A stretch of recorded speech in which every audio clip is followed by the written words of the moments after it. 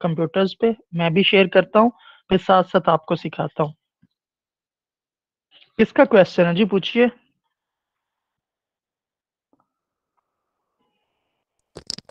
Sir. वालेकुम अस्सलाम।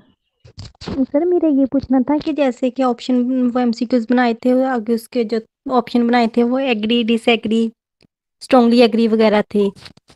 उनकी ओके नंबरिंग हमने देनी थी लेकिन अगर कुछ स्टूडेंट्स के जो थे वो ऑप्शन जो थे वो फिफ्टीन हो जाए ठीक है वो नंबरिंग फिर कैसे देंगे उनकी I I didn't get your point. What do you mean by 15? I mean, you want to say that is uh, in your questionnaire the number of items were 20 or 25, but students fill only 15 and 10 was remaining. Am I right or not? No no sir actually मैं ये पूछना चाहती हूँ जैसे हम कोई भी MCQs लिखते हैं ठीक है? उसके जो सब ऑप्शन होते हैं ठीक है? जैसे जैसे कि स्टूडेंट्स ने बनाए हैं एग्री स्ट्रॉन्ग एग्री या डिसएग्री न्यूट्रल इस तरह के वट एवर Okay. लेकिन तो अगर कुछ स्टूडेंट्स ने ऐसे बनाए हों कि जो उनके ऐसे फॉर उनके जो सब ऑप्शन है ठीक है? वो ज़्यादा हों और स्टूडेंट से अलग हों। Uh, saying कि more than five हों. टेन भी हो सकते हैं। Definitely nine point liquid scale है फाइव पॉइंट लिक्विड स्केल है थ्री पॉइंट लिक्विड स्केल है but I didn't get your point fifteen point liquid scale are you saying you are want to you want to say something else okay आप मुझे show करना screen फिर हम देख लेंगे आप क्या कहना चाह रही है। साथ साथ सेशन के हम ज्वाइन करते हैं।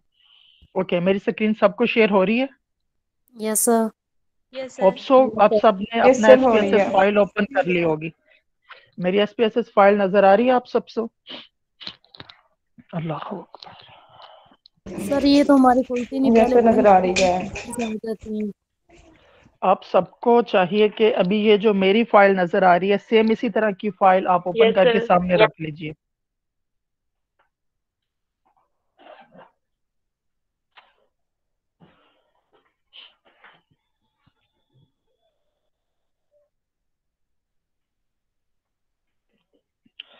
अब ये देखिए ये जो S P S S file है इसकी अगर बेस पे आप जाएँ लेफ़्ट साइड पर जिधर मेरा कर्सर मूव कर रहा है एक लिखा हुआ है डेटा व्यू और एक लिखा हुआ है वेरिएबल व्यू आपको ये दोनों चीज़ें नज़र आ रही है? यस सर यस सर हाँ आप सबने मेरे साथ Yes. कोऑपरेट करना है। ताकि मैं आपको प्रैक्टिकली सिखा सकूँ कि डाटा एंटर कैसे करते हैं एसपीएसएस के अंदर। बेसिकली जो एसपीएसएस है इसको बोला जाता है statistical package for social sciences आप सोशल साइंसेज के अंदर जो डेटा एनालिसिस कर रहे होते हैं specifically quantitative data the data you collected the questionnaires with 5 point Likert, 3 point Likert and 9 point Likert scale तो आप इसको एसपीएसएस में एंटर करते हैं और उसके बाद उसको एनालिसिस करते हैं। एसपीएसएस के अलावा और भी सॉफ्टवेयर्स हैं लाइक एमोस है और डिफरेंट और सॉफ्टवेयर्स हैं। कुछ लोग इसको जस्ट एक्सेल के ऊपर भी एनालिसिस कर लेते हैं। लेकिन जो मोस्ट प्रेफरेबल सॉफ्टवेयर है, वो एसपीएसएस ही माना जाता है डेटा एनालिसिस के लिए। आपको ये मैनेजमेंट के अंदर, यानी कि बिज़नेस एजुकेशन फील्ड्स हैं, इसके अलावा एजुकेशन है साइकोलॉजी है सोशियोलॉजी है जेंडर स्टडीज़ है and the fields are like this social sciences उन सब के अंदर अगर आप रिसर्च कर रहे हैं डेटा कलेक्शन होती है आपकी, और फोर्थ चैप्टर आपने लिखना है एनालिसिस वाला तो आपको एसपीएसएस यूज़ करना पड़ता है। अब एसपीएसएस के बेसिकली आपके सामने एक मैंने ओपन फ़ाइल की है, उसके दो व्यूज़ भी मैंने आपको दिखा दिए, एक है डाटा व्यू एक है वेरिएबल व्यू उससे पहले, इसमें डाटा एंटर करने से पहले मैं आपके साथ क्वेश्चन शेयर करना चाहूँगा। ये मैंने एक पेपर जो है, पिछले दिनों राइट डाउन किया था, जिस टॉपिक का टाइटल था, ये लिखा हुआ है, आप सबको नज़र आ रहा होगा। वर्ड फ़ाइल के अंदर relationship between epistemological beliefs and academic achievement prospective teachers यानी कि ये जो मेरा आर्टिकल था, ये रिलेशनशिप फाइंड आउट कर रहा था एपिस्टेमोलॉजिकल बिलीव्स और academic achievement of prospective teachers यानी कि जो टीचर्स बनते हैं बी एड फोर ईयर्स करके बी एस एड करके एम एस एड करके एम एड करके, जो उनकी प्रोफेशनल क्वालिफिकेशन होती है, उनके ऊपर मैंने रिसर्च की थी। ये आपको सामने क्वेश्चन नज़र आ रहा है आपको सबको? यस सर ओके फाइन इसमें मेरे जो डेमोग्राफिक वेरिएबल्स थे एक जेंडर शो हो रहा होगा आपको एक डिपार्टमेंट शो हो रहा होगा एक सेमेस्टर एक सीजीपीएन लास्ट सेमेस्टर और रेजिडेंस अर्बन और rural basically these points are called demographic variables in demographic variables की सर बिना पे ये नहीं आप पता चल रहे कहाँ पे आपने लिखे हुए हैं। ये देखिए जी आपको कर्सर शो हो रहा है मेरा ये जेंडर लिखा होगा। ये वाला I am highlighting this gender yes sir yes sir department semester ये सारे आपके पास डेमोग्राफिक वेरिएबल्स होते हैं। आप सबने भी अपने क्वेश्चंस में ये ऐड किए थे?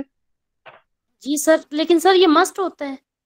You have to add add किए थे। लाइक जब आपने पॉपुलेशन ली, उस पॉपुलेशन को सिलेक्ट करने के पीछे कोई ना कोई फिलोसॉफिकल आइडिया होता है। आपकी एक आइडियोलॉजिकल बेसिस होती है, जिसकी बेस पे आप एक पॉपुलेशन को सिलेक्ट करते हैं अपनी डेटा के लिए। अब देखिए, मैंने जो डाटा लेना था, मैंने प्रोस्पेक्टिव टीचर्स लिए। अब प्रोस्पेक्टिव टीचर्स की आगे कुछ जो कैरेक्टरिस्टिक्स होती हैं, कुछ उनके अंदर प्रॉपर्टीज़ होती हैं। लाइक प्रोस्पेक्टिव टीचर्स मेल भी हो सकते हैं फीमेल भी हो सकते हैं।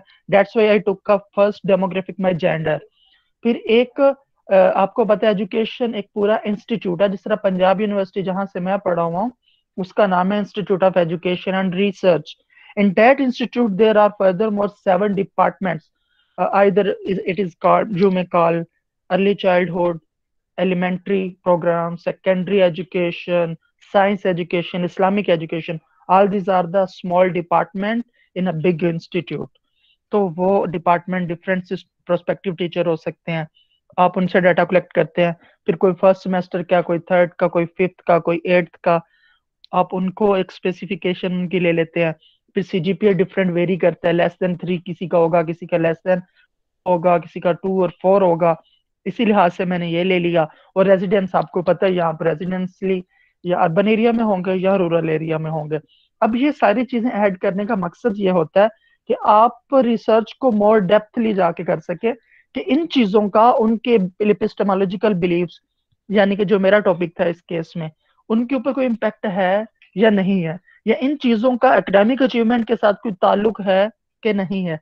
इसलिए ये ऐड करते हैं अपनी रिसर्च को मोर प्रिसाइज करने के लिए। तो आपने ये चीज़ देख ली आपके सामने जो थी। अब मैं नीचे आपको दिखाना चाह रहा हूँ, मैंने five point Likert scale use किया। जो स्ट्रॉन्गली अग्री और स्ट्रॉन्गली डिसअग्री तक वेरी करता है। और ये इंटरवल रेशियो इंटरवल स्केल है। इंटरवल स्केल आपको पता है स्टैट के अंदर चार टाइप के स्केल होते हैं। एक स्केल होता है फ़र्स्ट आपका नॉमिनल फिर होता है ऑर्डिनल फिर होता है रेशियो सॉरी इंटरवल और एंड वाला होता है रेशियो आप में से किसी को पता है चार स्केल्स का? नो सर ओके मैं बताता हूँ। मैं थोड़ा सा आपको आइडिया दे देता हूँ। ये एक नॉमिनल स्केल होता है आपका। एक ऑर्डिनल होता है, फिर एक इंटरवल होता है, फिर एक होता है रेशो ये चार स्केल होते हैं आपके पास, जिनके थ्रू आप डेटा को स्टैट के अंदर रैंक करते हैं. सबसे पहले हम लेते हैं नॉमिनल डेटा नॉमिनल जो आपका स्केल है, इसके अंदर आपका जस्ट कैटेगोरिकल डेटा आता है. कैटेगोरिकल डेटा कैसे आएगा? जेंडर उसकी दो कैटेगरीज है मेल और फीमेल ट्रांसजेंडर, तीसरी आप ऐड कर लें, इनके अलावा और कोई कैटेगरी इसकी नहीं हो सकती, ठीक है? ये होती है नॉमिनल जिसके अंदर कैटेगरीज में डेटा आपके पास डिवाइडेड आता है। तो मेरा जो क्वेश्चनर था, उसके अंदर एक जो जेंडर था, वो नॉमिनल स्केल पे था। उसके बाद आता ऑर्डिनल ऑर्डिनल में कैटेगरीज भी आती हैं और कैटेगरीज के साथ आपकी रैंक ऑर्डर अरेंजमेंट भी आती है। Like you can say first second third positions है ना, आपकी जब आप कोई डिग्री कर रहे हो, कोई आपने कोई कोर्स करना है तो उसके अंदर पोजीशंस आती हैं फ़र्स्ट सेकंड एंड थर्ड उसको आपने रैंक भी दे दिया और कैटेगरीज में भी डिवाइड कर दिया। फिर आता है इंटरवल इंटरवल आपने देखा होगा, ये जितना भी टाइम स्केल चलता है five minute ten minute thirteen minute fifteen minute इसी तरह स्पीड है। Five kilometre ten kilometre fifteen kilometre तो there is interval between these position फिर आता है रेशो स्केल रेशो स्केल में होता है like you can say in which absolute zero is involve के the data in which zero is also have a meaning तो वो रेशो स्केल होता है। लेकिन जो मैंने अभी आपको स्केल अपना शो किया क्वेश्चनर शो किया, ये इंटरवल के ऊपर बना हुआ था, जिसके फाइव जिसको फाइव पॉइंट लिकट स्केल भी बोला जाता है। तो ये देखें, ये सारा मेरा स्केल था, जिसकी थी ऑलमोस्ट थर्टी थ्री आइटम्स अब मैं डेटा कलेक्ट कैसे करता हूँ? मैंने इसकी 500 कॉपीज करवाई, क्योंकि उस वक्त जो है ना, ये मैं गूगल फॉर्म पे नहीं कलेक्ट किया, क्योंकि इजीली था मेरे मेरे पास टाइम था रिसोर्सेज थे, और मेरे पास सारे जो पार्टिसिपेंट्स है, वो डिपार्टमेंट में अवेलेबल थे। तो मैंने उनको ऑनलाइन भेजने की जो है ना, बजाय उनको बोला कि मैं आपको बाय सेल्फ डेटा कलेक्ट करता हूँ। मैंने 500 कॉपीज ली स्टूडेंट को सर्कुलेट की, उनके पास खड़ा रहा, और उन्होंने इसको फिल करना शुरू किया। वो स्टेटमेंट्स पढ़ते थे। स्टेटमेंट पढ़ने के बाद वो जो उनको रेलिवेंट लग रहा होता था पॉइंट अग्री पे स्ट्रॉन्गली अग्री पे या डिसअग्री पे या स्ट्रॉन्गली डिसअग्री पे या न्यूट्रल पे वो टिक कर देते थे। तो मेरे पास इस तरह डेटा आता गया। मैंने फाइव हंड्रेड का डेटा कलेक्ट कर लिया। आप सबने भी ऐसे किया था? किसी ने गूगल Yes. फॉर्म पे लिया होगा किसी ने जो है ना वो मैनुअली डेटा कलेक्ट किया होगा जैसे मैं बता रहा हूँ। ओके फाइन हमारे पास डेटा आ जाता है। डेटा आने के बाद हमने उस डाटे को एंटर करना है एसपीएसएस फ़ाइल के अंदर। अब आप सबको एसपीएसएस फ़ाइल नज़र आ रही है मेरी? यस सर यस सर अब देखिए इसमें सबसे सबसे पहले आपको नज़र आ रहा है नेम उसके साथ है टाइप फिर विड्थ है डेसिमल है. ये ऊपर आपको पूरी एक रो नज़र आ रही होगी। अब मैं आपको बताता हूँ कि इसको यूज़ कैसे करते हैं। मैंने वेरिएबल व्यू को ओपन किया। उसमें नेम के ऊपर मैंने कर्सर को लेके गया और मैं लिखा सबसे पहले आईडी अब आईडी का मतलब क्या होता है? आप में से किसी को पता है? सर जो स्पेसिफिक दी जाती है। आइडेंटिफिकेशन होती है ना नंबर होते हैं।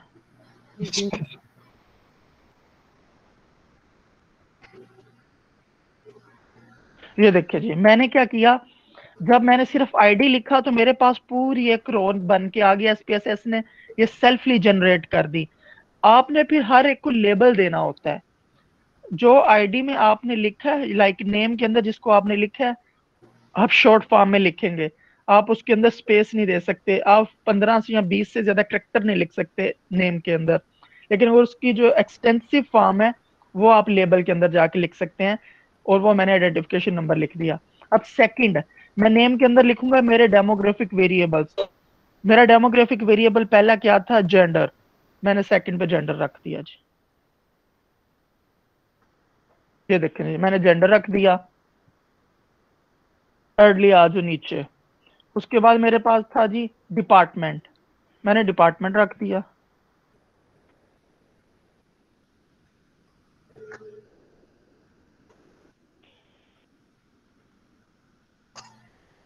सर ये नेम हमने उनके लिखने जो हमने जिनसे डाटा कलेक्ट किया है जो स्टूडेंट्स थे बिल्कुल भी नहीं बिल्कुल भी नहीं। आपने अपने डेमोग्राफिक वेरिएबल्स ऐड करने हैं बस इधर जैसे मैंने कर रहा हूँ। नेम स्टूडेंट्स के लिखने की ज़रूरत नहीं है। डेमोग्राफिक वेरिएबल में सिर्फ़ एक वेरिएबल हमने जेंडर का ऐड किया हुआ तो बस जस्ट एक वो जेंडर का ऐड करेंगे।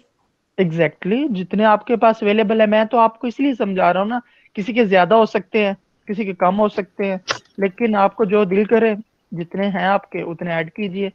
सर ये आईडी क्या है? थोड़ा सा बड़ा कर ओके इसका मैं साइज़ इंक्रीज कर देता हूँ।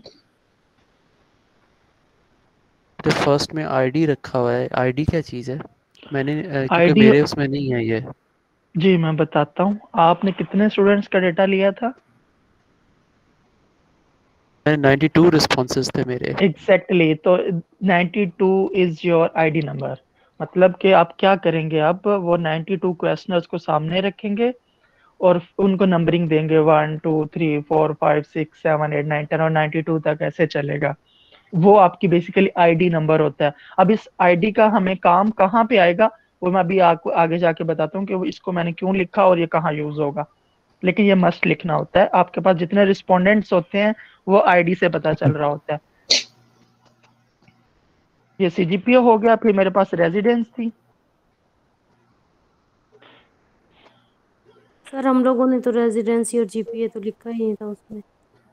नो नो इशू आपने जो लिखा है, उसको यूज़ करें। ये बस मैं आपको बता रहा हूँ, जो मेरे पास था, मैंने उसको यूज़ किया। ये लें जी, ये मेरे पास सिर्फ़ इतने जो है ना, वो डेमोग्राफिक वेरिएबल्स थे, उसको मैंने ऐड कर दिया। इसके बाद आती है बारी आइटम्स की। मेरे पास टोटल थर्टी थ्री आइटम्स थी। आप में से किसी की बीस होंगी, किसी की चालीस होंगी, किसी की दस होंगी, किसी की पंद्रह होंगी। ये ये वेरी ये वेरी कर सकती है। अपने फ़ोन को बिल्कुल वाइब्रेशन से हटा के साइलेंट पे लगा लें ताकि दूसरों को डिस्टरबेंस ना हो। ओके फाइन यहाँ तक समझ आ गई आप सबको? यस सर लेकिन थोड़ा सा बड़ा कर देते तो दिख जाता। इससे ज़्यादा मैं sir, I have a question. आप खुद स्क्रीन जूम कर रहे आप लोग अपनी स्क्रीन खुद जूम करें। जूम करना तो। सर हो गया अ, थैंक मैंने अपना एस पी एस एस पे जो डाटा एंटर किया है ना उसमें मैंने आप आईडी आपने कहा है ना इतना मस्ट होता है। तो मैंने आईडी नहीं लिखा। मुझे था कि अब नेम्स में इतने नेम्स कैसे लिखूँगी तो मैंने डायरेक्ट जेंडर से स्टार्ट करके ना नेम डाटा एंटर कर लिया है। बच्चे नेम लिखते ही नहीं होते जस्ट अपने क्वेश्चनर्स को नंबरिंग देते हैं। नंबरिंग देने के बाद वो आईडी कहाँ यूज़ होगा? मैं बताता हूँ अगर नहीं भी किया तो मैं फिर भी आपको बता देता हूँ आप कर सकते हैं। कैसे क्या ऐड कर सकते हैं? ये देखिए आप चाह रहे हैं कि हाँ फ़र्स्ट ये बता दें। हाँ जी मैं बताता हूँ। Like you want to something here if you have missed in your uh, questionnaire आप चाहते हैं कि यहाँ पे यस कुछ चीज़ ऐड यस कर दूँ? तो ये आपने फ़र्स्ट नंबर पे जाके क्लिक किया। राइट क्लिक करना है आपने। राइट क्लिक करके इंसर्ट वेरिएबल नज़र आ रहा है आपको? Yes sir yes insert variable करें ये लें जी इधर जो मर्ज़ी लिखें आप।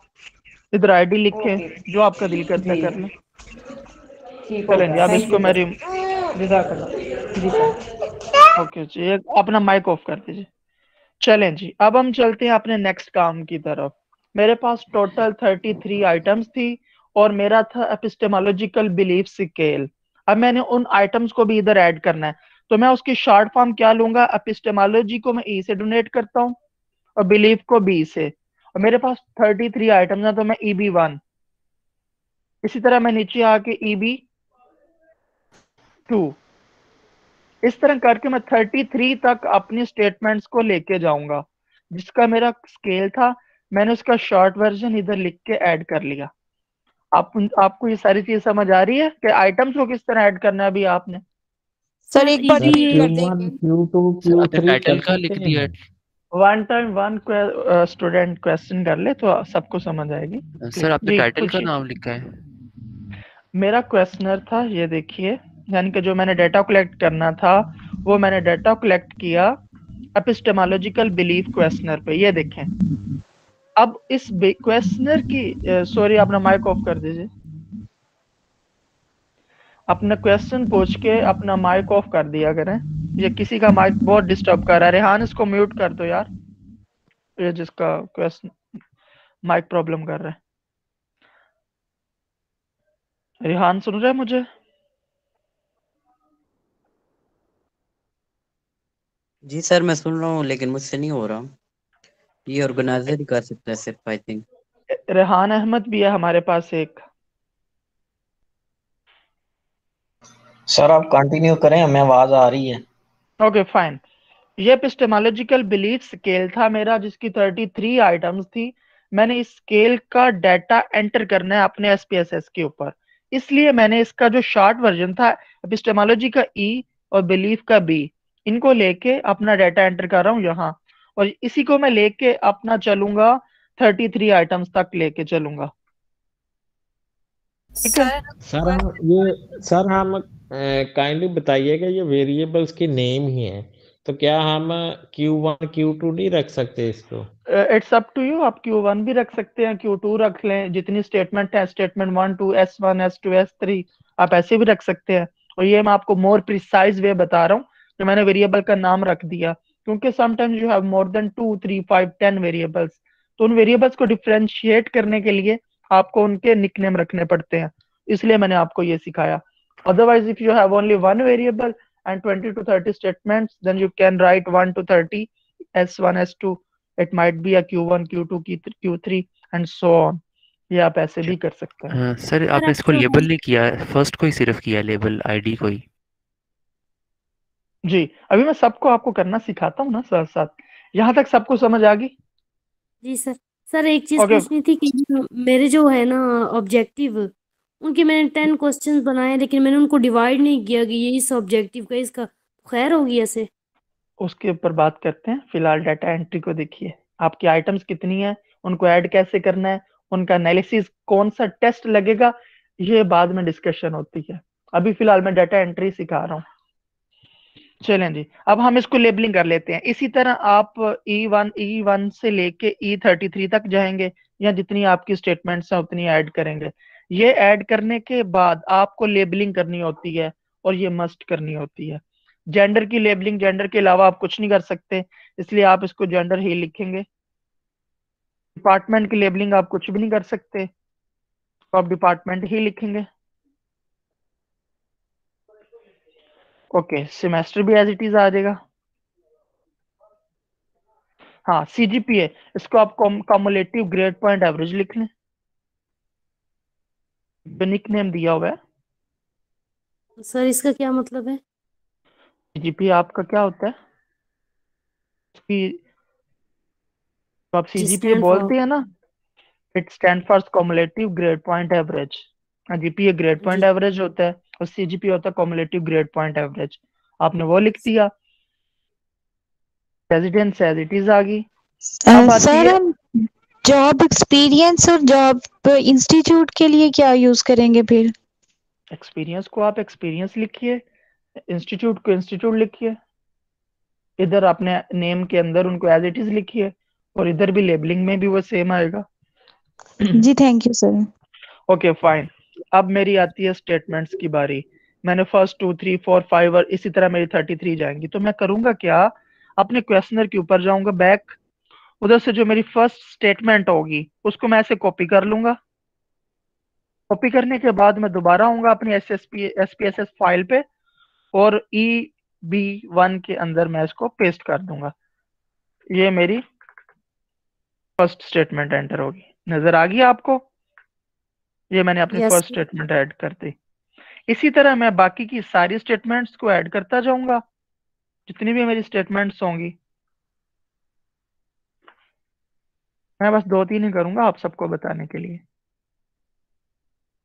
ठीक है जी? यहाँ तक समझ आ गई फिर इस तरह आप सारी अपनी स्टेटमेंट्स इधर ऐड करते जाएँगे। होप सो आप सबको इसकी समझ आ गई होगी। जी सर। चलें जी नेक्स्ट स्टेप उसके बाद आती है वैल्यूज़ की बारी। अब ये वैल्यू वाला पोर्शन बड़ा इंटरेस्टिंग है टेक्निकल भी है और आप लोगों को बड़ा समझने में भी इजी होगी अगर आप इंटरेस्ट लेके सारी चीज़ें सुन रहे हैं वैल्यू में। अब वैल्यू बेसिकली होती है कि आपने कितनी कैटेगरीज रखी हुई हैं, आपने कौन सा फाइव पॉइंट लिकट्स के यूज़ किया थ्री पॉइंट किया यूज़ आपने क्या क्या ये वैल्यूज़ देनी है, ये आपने डिसाइड करना होता है। अब आइडेंटिफिकेशन की कोई वैल्यू होती है यानी कि नंबर्स की तो कोई वैल्यू नहीं है। आपने उसको one two three as it is ही लिखना है। इसलिए आप जो है आईडी की वैल्यू ऐड नहीं करेंगे। आप वैल्यू ऐड करना स्टार्ट करेंगे जेंडर से। या आपका जो भी फ़र्स्ट डेमोग्राफिक वेरिएबल होगा, उससे आप ऐड करना शुरू करेंगे। तो मैं जेंडर से स्टार्ट करता हूँ। आपने वैल्यू कैसे ऐड करनी है? जेंडर के सामने वाले जो वैल्यू वाला आपके पास कॉलम है उसके ऊपर क्लिक करना है। क्लिक करने के बाद ये आपको ये थ्री डॉट वाला एक पोर्शन शो हो जाएगा इसको दोबारा क्लिक करना है और आपके सामने ये वैल्यू लेबल ओपन होके आ जाएगा। आपको मेरी ये चीज़ समझ आई है ये किस तरह ओपन करना है आपने वैल्यू वाला टेबल जी सर। जी ओके सर। मैं कहता हूँ कि हम मैं जो डेटा व्यू के अंदर अपने डेटा सिर्फ़ न्यूमेरिक फॉर्म में एंटर कर सकता हूँ। आप ये चीज़ याद रखिए एसपीएसएस के अंदर हम मोस्ट प्रोबेबली सिर्फ़ अपना numeric data two hundred five hundred thousand and so on आप इस फॉर्म में डाटा एंटर कर सकते हैं। इसलिए आपने हर चीज़ को वैल्यू देनी है हर चीज़ की लेबलिंग करनी होती है। मैं क्या करता हूँ कि वन लेबल कर देता हूँ फॉर मेल अगर मेल मेरे क्वेश्चन मेरा मेल ने फिल किया है तो मैं उस, उसकी जगह वन लिखूँगा जब डाटा एंटर करूँगा। तो मैंने वन वैल्यू रख दी मेल के लिए, और इसको मैं ऐड कर दूँगा, ये। फिर मैं रखता हूँ टू फीमेल के लिए। बेटा, ये अपना माइक ऑफ़ कर दीजिए, जिधर जिनकी प्रॉब्लम है, वो क्वेश्चन पूछने के लिए माइक ऑन किया करें, फिर ऑफ़ कर दिया करें, ताकि डिस्टरबेंस ना हो। ये ऐड कर दिया। थर्ड मैंने रख लिया ट्रांसजेंडर के लिए।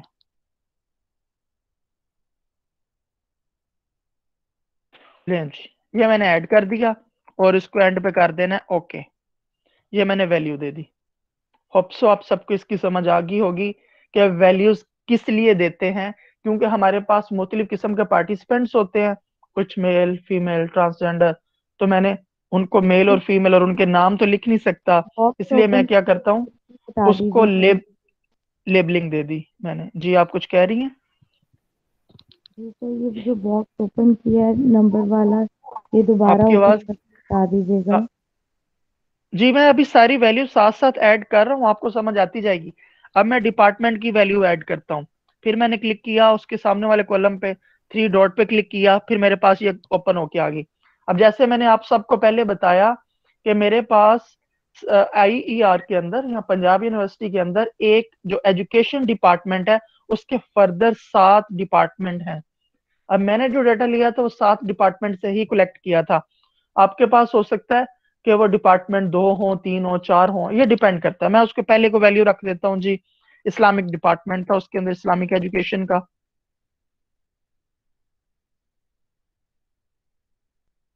ये लिख के ऐड कर दिया। दो लिख के मैंने ऐड कर दिया जी, ये साइंस एजुकेशन डिपार्टमेंट भी है उधर, क्योंकि मैं खुद साइंस का स्टूडेंट रहा हूँ। इसी तरह आपने सात डिपार्टमेंट्स को ऐड करते जाना है। और एंड पे आपने ओके कर देना ये लें जी। आपके पास डिपार्टमेंट की वैल्यू भी ऐड होगी। इसके बाद आते हैं सेमेस्टर पे। सेमेस्टर यहाँ फ़र्स्ट हो सकता है, यहाँ फोर्थ हो सकता है। वन से लेके एट तक वेरी करेगा। अगर बीएस का स्टूडेंट है, अगर एमए का स्टूडेंट है तो वन से लेके फोर तक जो है ना वेरी करेगा। फिर मैंने सेम किया काम वैल्यूज़ की रखी। One for first semester and two for second semester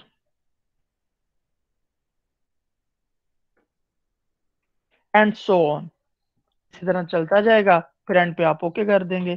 फिर इसी तरह सीजीपीए सीजीपीए की आप भी ऐसी कैटेगरीज बना लेंगे। One for less than two या लेस देन थ्री रखते हैं। टू तो बहुत कम आता है लोगों का। और टू रख लेते हैं। ग्रेटर देन थ्री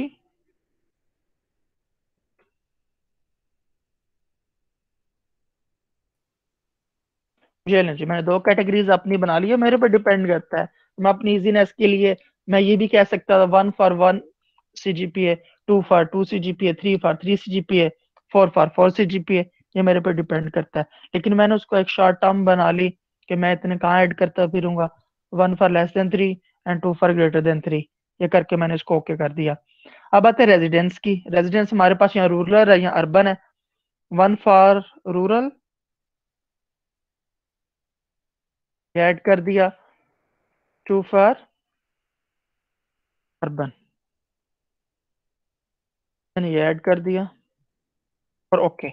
यहाँ तक आई थिंक सो आप सबको समझ आ गई होगी। It's fine. सर आगे आगे चलें। Yes sir yes sir sir अगर हम ये सर सर मेरा एक क्वेश्चन है। वन बाय वन प्लीज़ जी पूछिए। सर अगर हम एज ऐड कर रहे हैं तो हम किस तरीके से करेंगे? लेस देन ट्वेंटी और इस तरीके से। Exactly exactly you get my point आपके पास एज किसी की 21 होगी किसी ने 21.5 लिखी होगी किसी ने 23 लिखी होगी बहुत ज़्यादा डिफरेंशिएट यहाँ बहुत ज़्यादा वेरिएशन होगी एजेस में। आप सिंपल क्या करें?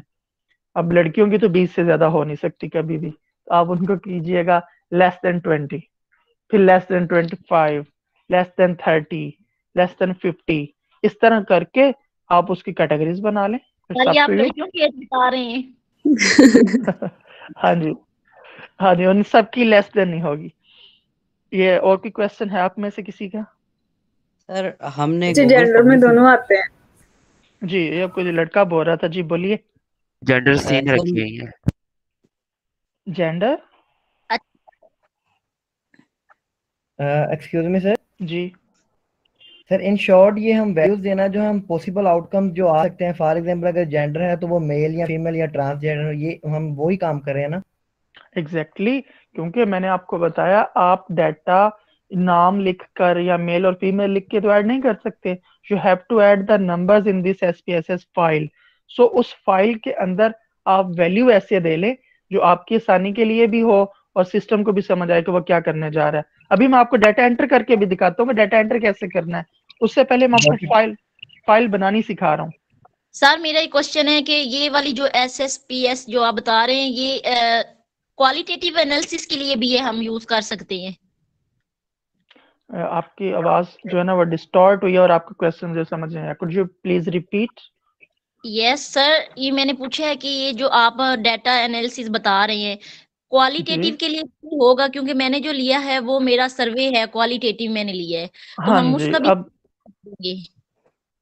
क्वालिटेटिव के लिए एक और सॉफ्टवेयर है जिसको बोलते हैं एन वीवो एन वीवो 10.8 10.20 तक भी अब आ गए हैं लेकिन एन वीवो वो सॉफ्टवेयर है।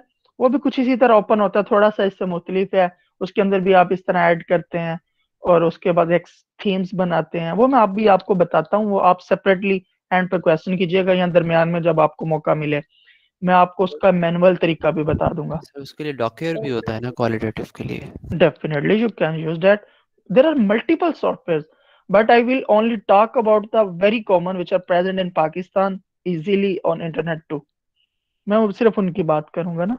बाकी आप ठीक कह रहे हैं। थैंक यू चलें जी रेजिडेंस होगी हमारी जेंडर हो गया, सारे डेमोग्राफिक वेरिएबल्स की वैल्यूज़ हमने ऐड कर दी। अब बात आती है हमारी स्टेटमेंट्स की। पहली स्टेटमेंट मैंने ली थी, वो मैंने उसको ऐड कर दिया, अब उसकी मैं वैल्यूज़ देना चाह रहा हूँ। अब स्टेटमेंट की वैल्यूज़ कैसे ऐड कर सकते हैं? आप देखिए स्टेटमेंट के फाइव पॉइंट लिकट स्केल था। यानी कि स्टेटमेंट के अंदर वो या स्ट्रॉन्गली अग्री या अग्री न्यूट्रल डिसअग्री या स्ट्रॉन्गली डिसअग्री इनमें से किसी एक के ऊपर टिक करेगा। इसलिए मुझे क्या करना है मुझे ये फाइव वैल्यूज़ ऐड करनी है अपनी एसपीएसएस के अंदर, कि इन पाँचों में से वो कुछ भी अगर टिक करता है तो मैं उधर ऐड कर सकूँ। कैसे? अभी देखते हैं। ये मैंने फ़र्स्ट स्टेटमेंट को रखा। ये मैंने ओपन किया। वन मैं रख देता हूँ जी for strongly agree and two for रख देता हूँ स्ट्रॉन्ग अग्री थ्री फॉर रख देता हूँ न्यूट्रल फोर रख देता हूँ and five for strongly disagree okay और ओके okay कर दिया। ये आपके पास फ़र्स्ट स्टेटमेंट की वैल्यू आ गई और आपको पता है, जो मेरे पास 33 स्टेटमेंट है, आपके पास 20 10 25 कुछ भी हो सकती हैं। सबकी यही वैल्यू आएगी। और आप बार बार लिखने से तो रे, आप ऐसे कीजिएगा। वो जो आपने पहली वैल्यू ऐड कर दी, उसके ऊपर जाकर राइट क्लिक कॉपी पे जिधर आपने इसको पेस्ट करना है उसको शिफ्ट को प्रेस करके नीचे आते जाए और सर हम पूरा भी लिख सकते हैं मतलब ऐसे के बजाय अगर हम लिख लें स्ट्रांगली एग्री पूरा वर्ड अगर लिख लें तो। Yes you can you can मैं तो बस आपको सिखा रहा हूँ ना कि इजी वे ये है।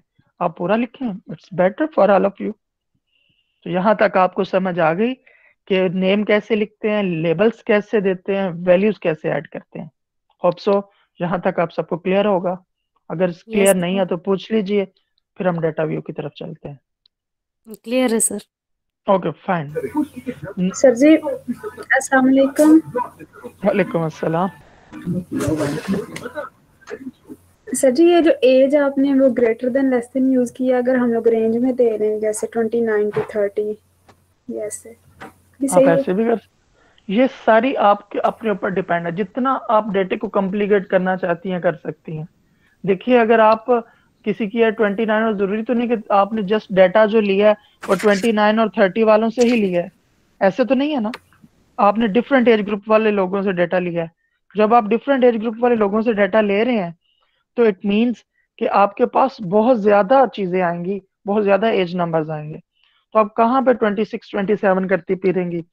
जैसे उसका काम खत्म करें less than 20 less than 25 less than 30 करके तीन चार कैटेगरीज बनाएँ, ताकि आपको टेस्ट लगाना भी आसान हो।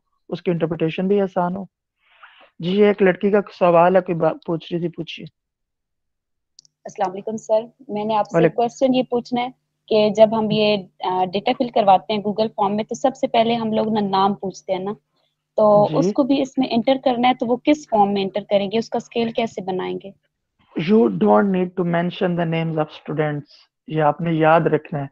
रिसर्च हमेशा जो है ना रिसर्च जो भी आप करते हैं स्पेसिफिकली सोशल साइंसेज के अंदर जो रिसर्च होती है वो कॉन्फिडेंशियल होती है और आपको आप सबने तो बड़ी इजीली किया होगा लोगों को भेज दिया और उन्होंने फिल कर दिया। इसके लिए एक प्रॉपर प्रोटोकॉल्स होते हैं। आपको एक पूरा क्वेश्चनर एक पूरा लेटर बनवाना पड़ता है डिपार्टमेंट में से जिसके ऊपर आपका टॉपिक लिखा होता है आपका बैकग्राउंड लिखा होता है कि आप ये स्टूडेंट है ये कर रहे हैं ये डिपार्टमेंट है आपका और नीचे तीन चार लाइनें लिखी होती हैं। जिसमें जो बोल्ड फॉर्म में ये लिखा होता है कि जो आपके रिस्पॉन्सेज होंगे ये ओनली रिसर्च पर्पज के लिए यूज़ होंगे सेकेंडली ये कॉन्फिडेंशियल होंगे थर्डली इनको रिवील नहीं करेगा रिसर्चर और फोर्थली आपका नेम नहीं आएगा। तो इसलिए हमने नेम की जगह आईडी लिखते हैं। जितने भी आपके पास रिस्पोंडेंट्स आ जाएँ उनको वन से लेके जितना आपका सैंपल है वहाँ तक उनको लिख लीजिए और उनको नंबर देते हैं। नाम लिखने की ज़रूरत नहीं। Okay sir thank you okay ji now we will move towards data view यहाँ तक आप सबको क्लियर हो गया। अब मेरे पास रिस्पोंडेंट्स आ गए मैंने लोगों को भेज दिए। मेरे पास अब डेटा आ गया। मैंने साथ ही ओपन कर लिया ये डेटा व्यू अब डेटा व्यू के अंदर आपको वो सारी चीज़ें नज़र आ रही हैं जो मैंने उधर ऐड की थी। आईडी भी नज़र आ रहा होगा जेंडर भी डिपार्टमेंट भी फिर आगे स्टेटमेंट्स भी नज़र आ रही होंगी। सबको ये चीज़ें नज़र आ रही हैं? सर आ रही हैं। There is एक रो में नज़र आ रही है फ़र्स्ट रो में। Excuse me, sir. Yes sir आ रही है। Uh, ji. uh, sorry, sir, I am interrupting you. There is one question. Sir, in fact, in measurement, I do have this uh, these three type of scale: nominal, ordinal, and uh, there is one uh, scale type. Exactly So, exactly but uh, like uh, uh, if I see your screen, it's just unknown. So, what's what's this? Okay fine thank you very much refer for reminding me हम इसको भी discuss कर लेते हैं thank you लेन जी मैंने अभी आपसे पहले थोड़ी देर जिक्र किया था चार स्केल्स का कि वी हैव फोर स्केल्स अब फोर स्केल्स को एसपीएसएस के अंदर भी रखा गया है और उनको यूज़ कैसे करना है, वो मैं आपको एक ब्रीफ इंट्रो पहले दे चुका हूँ। जेंडर को मैंने आपको बताया कैटेगोरिकल डेटा होता है, ये मैयर वाला जो सेकंड लास्ट कॉलम आपको नज़र आ रहा है आईडी वाले को तो आपने छोड़ देना ना, वो अननोन ही रहेगा। जब आप इसके ऊपर क्लिक करते हैं तो आपके पास स्केल ऑर्डिनल और नॉमिनल ओपन हो गया तो मैंने जैसे आपको बताया, अगर आपको स्केल्स पढ़े होंगे आपने, ये चारों स्केल्स आपने पढ़े होंगे, आपको पता होगा कि कौन सा स्केल कहाँ यूज़ होता है। एसपीएसएस के अंदर तीन कैटेगरीज बनाई गई हैं। पहला नॉमिनल दूसरा ऑर्डिनल रेशियो और इंटरवल को मिक्स करके उन्होंने एक स्केल बना दिया है जो स्केल के नाम से आपको शो रहा होगा। जेंडर में मैंने आपको बताया ये कैटेगोरिकल डेटा होता है इसलिए आप इधर से जस्ट नॉमिनल को सिलेक्ट करेंगे ये नॉमिनल आ गया। इसी तरह डिपार्टमेंट भी आपका नॉमिनल आएगा क्योंकि कैटेगरीज है उसके अंदर कोई अरेंज रैंक ऑर्डर अरेंजमेंट नहीं है कि कौन सा फ़र्स्ट है कौन सा सेकंड है। बस वो डिपार्टमेंट और उसकी कैटेगरीज है। इसलिए ये भी नॉमिनल आएगा। सेमेस्टर भी सेम है। रैंक ऑर्डर अरेंजमेंट होती है इसमें। फ़र्स्ट सेकंड थर्ड इसलिए मैं इसको ऑर्डिनल लूँगा। सीजीपीए भी आपका जो है ना वो फ़र्स्ट थ्री वाला होगा फोर वाला होगा, वो एक रैंक ऑर्डर अरेंजमेंट होती है। कि इसका लेस सीजीपीए है। इसका ज़्यादा है। ऑर्डिनल आएगा। इसी तरह आपका आ जाएगा रेजिडेंस ये सिर्फ़ कैटेगोरिकल डेटा है। या वो रूरल होगा या वो अर्बन होगा। तो मैंने इधर नॉमिनल ले लिया। उसके बाद आती है स्टेटमेंट्स स्टेटमेंट्स जितनी भी आएँगी ना, क्योंकि ये फाइव पॉइंट लिकट स्केल के ऊपर होती हैं और ये इंटरवल स्केल के ऊपर मुश्तमिल होती हैं, जैसे मैंने आपको पहले बताया। इसलिए आप सारे स्टेटमेंट्स के लिए स्केल को यूज़ कर लेंगे। स्केल को यूज़ करने के बाद आप इसको सबको स्केल करना है आपने ऐसे। जितनी स्टेटमेंट्स आप ऐड करेंगे, सबको आपने यहाँ से स्केल कर लेना है। जितनी स्टेटमेंट्स होंगी चलती जाएँगी इस तरह जब आप Sir, there ऐड is सब- one more uh, question. I'm sorry, I'm interrupting you again. Sir, in fact, in my research, I am not using any questionnaire because uh, I am directly taking percentages as data, percentages Okay. of student. So, sir, uh, I don't have to then select scale, I think. Do I? no no need to uh, run scale every time you can use Because I'm not to- using any, yes, because I'm not using any questionnaire. I'm not using any scale. I'm just putting the like number form data. For example, Definitely. percentage I will be putting. So I have to like uh, um, uh, select nominal for or ordinal for percentage. ordinal percentage yes you can add that but uh, i am telling the students about if you have five categories three and Yes, nine sir. Yes, sir. Then you can use the scale Uh, For Okay. that is for those who are using questionnaire. Thank you, sir. Thanks a lot. In fact, you helped me a lot. okay thank sir you मुझे इसकी समझ नहीं आई अगर हमारे पास demographics में experience हो तो वो क्या होगा नॉमिनल होगा ऑर्डिनल होगा क्या होगा वो ये देखिए जनाब मैं चाहता हूँ जी इधर एक एक्सपीरियंस की कैटेगरी भी ऐड कर दूँ मैंने नेम के ऊपर लिखा experience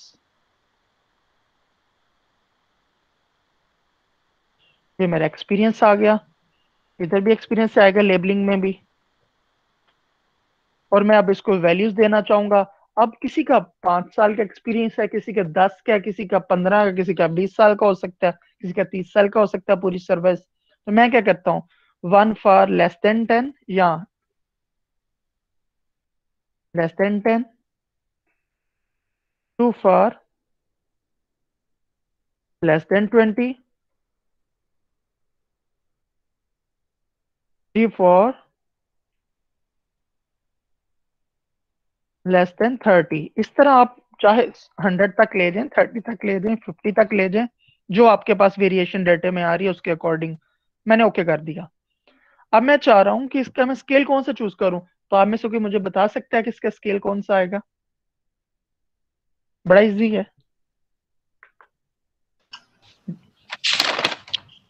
Ordinal definitely ordinal less than ten less than twenty less than thirty तो ये रैंक ऑर्डर अरेंजमेंट हो रही है इसकी। इसलिए मैं इसको ऑर्डिनल पे सिलेक्ट करूँगा। आई थिंक सो आपका क्लियर पॉइंट हो गया होगा। सर वन क्वेश्चन जी प्लीज़ जल्दी कीजिए फिर हमने डाटा एंट्री की तरफ़ जाना सर ये जो फाइव ऑप्शंस होते हैं स्ट्रांगली एग्री डिसएग्री वगैरह इनके लिए हम ऑर्डिनल यूज़ नहीं कर सकते। मैंने गूगल सर्च किया था तो वहाँ पे scale यूज़ होगा। Why we will use scale?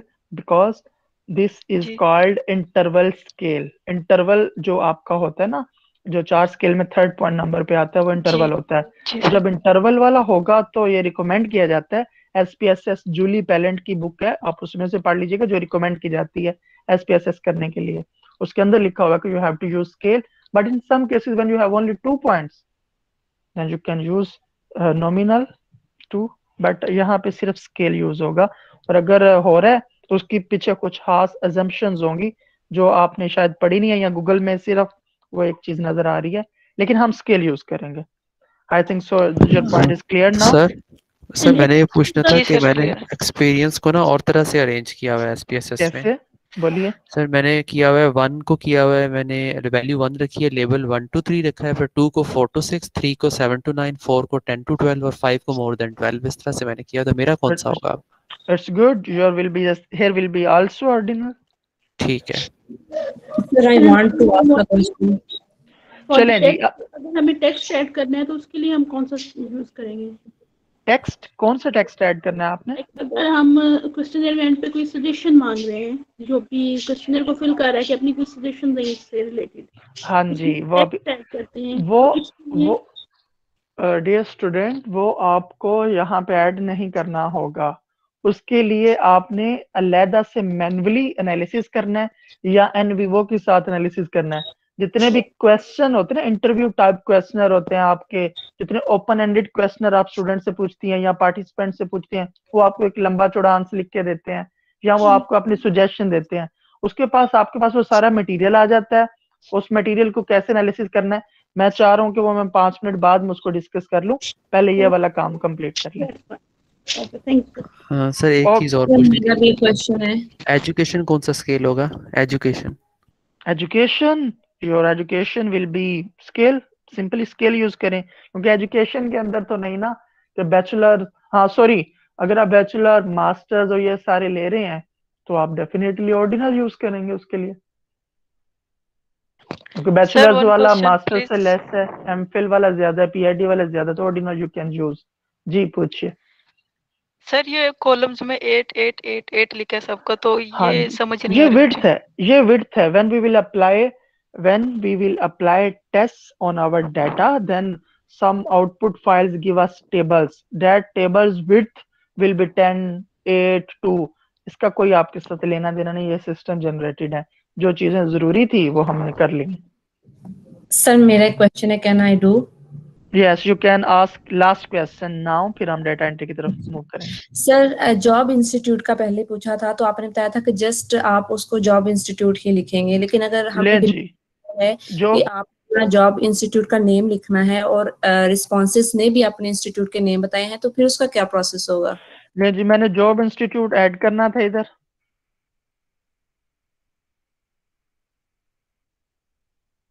ये जॉब इंस्टीट्यूट है। आपके कौन कौन से इंस्टीट्यूट से जॉब के लिए? सर सेम स्कूल जिसमें मैं टीच करती हूँ उसी के उसी से रिलेटेड ही है। कौन से हैं? बताइए। प्राइवेट एंड गवर्नमेंट कैटेगरीज थी आई थिंक कैसे ये थी जी? Sir mostly private job institute ये आपके सामने मैंने जे आई नेम में लिख लिया क्योंकि वो जरा आप पूरा नाम नहीं लिख सकते स्पेस के साथ इसलिए मैंने उसको निक नेम दिया लेबल में मैंने उसको पूरा लिखा वैल्यू में मैं उसको देना चाह रहा हूँ। वन फॉर पब्लिक यहाँ गवर्नमेंट लिख लें आप इधर मैं पब्लिक लिखूँगा। Two four private okay add कर दिया मैंने कैटेगोरिकल डेटा आ गया मेरे पास तो मैंने इधर नॉमिनल लिख दिया काम था It means that we will not mention the name of institute. We will mention Mhm. only data government. I I said earlier we only enter numbers in this SPSS file. We no no need to mention the names of institute, The name of students, the name of the department. Okay. No need to mention. Okay, it. Thank you, sir.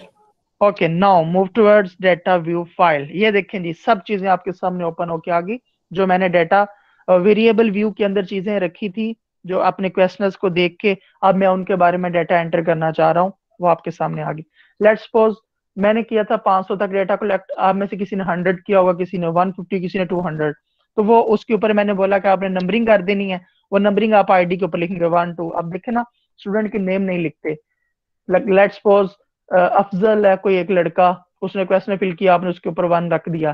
Second पे कोई है, मेराज, उसने किया third पे कोई अली है, उसने one two three फिर कोई लड़की आ जाती है उसमें समीना आ गई, यासमीन आ गई, या कोई और आ गया।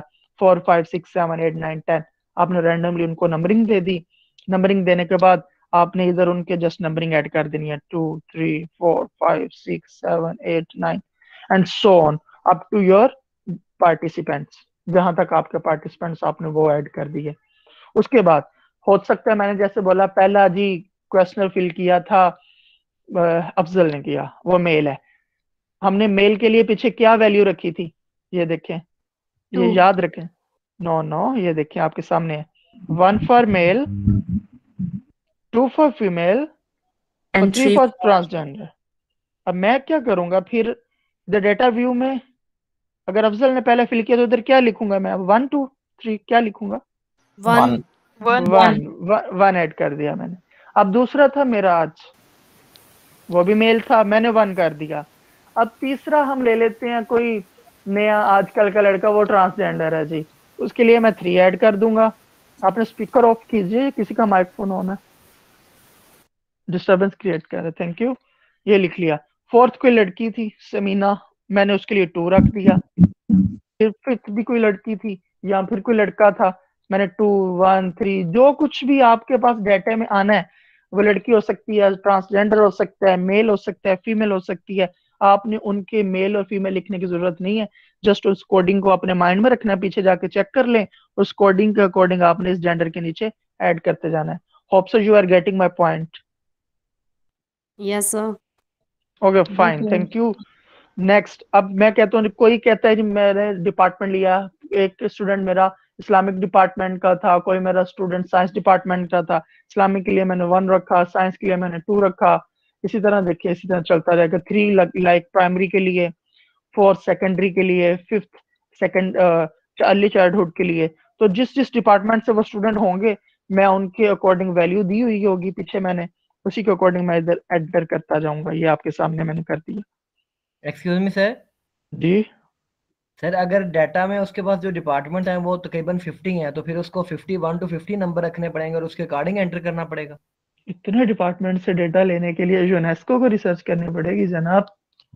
सर पॉसिबिलिटी होता ना वैसे क्वेश्चन पूछ रहा हूँ इट्स ओके फाइन हाँ definitely then you have to add up to 50 ब- बाकी जो हम करते हैं ना academic research like uh personal research भी इसे बोला जाता है जिसमें एक बंदा एक ग्रुप कर रहा होता है तो हम दो चार पाँच दस डिपार्टमेंट ले लेते हैं।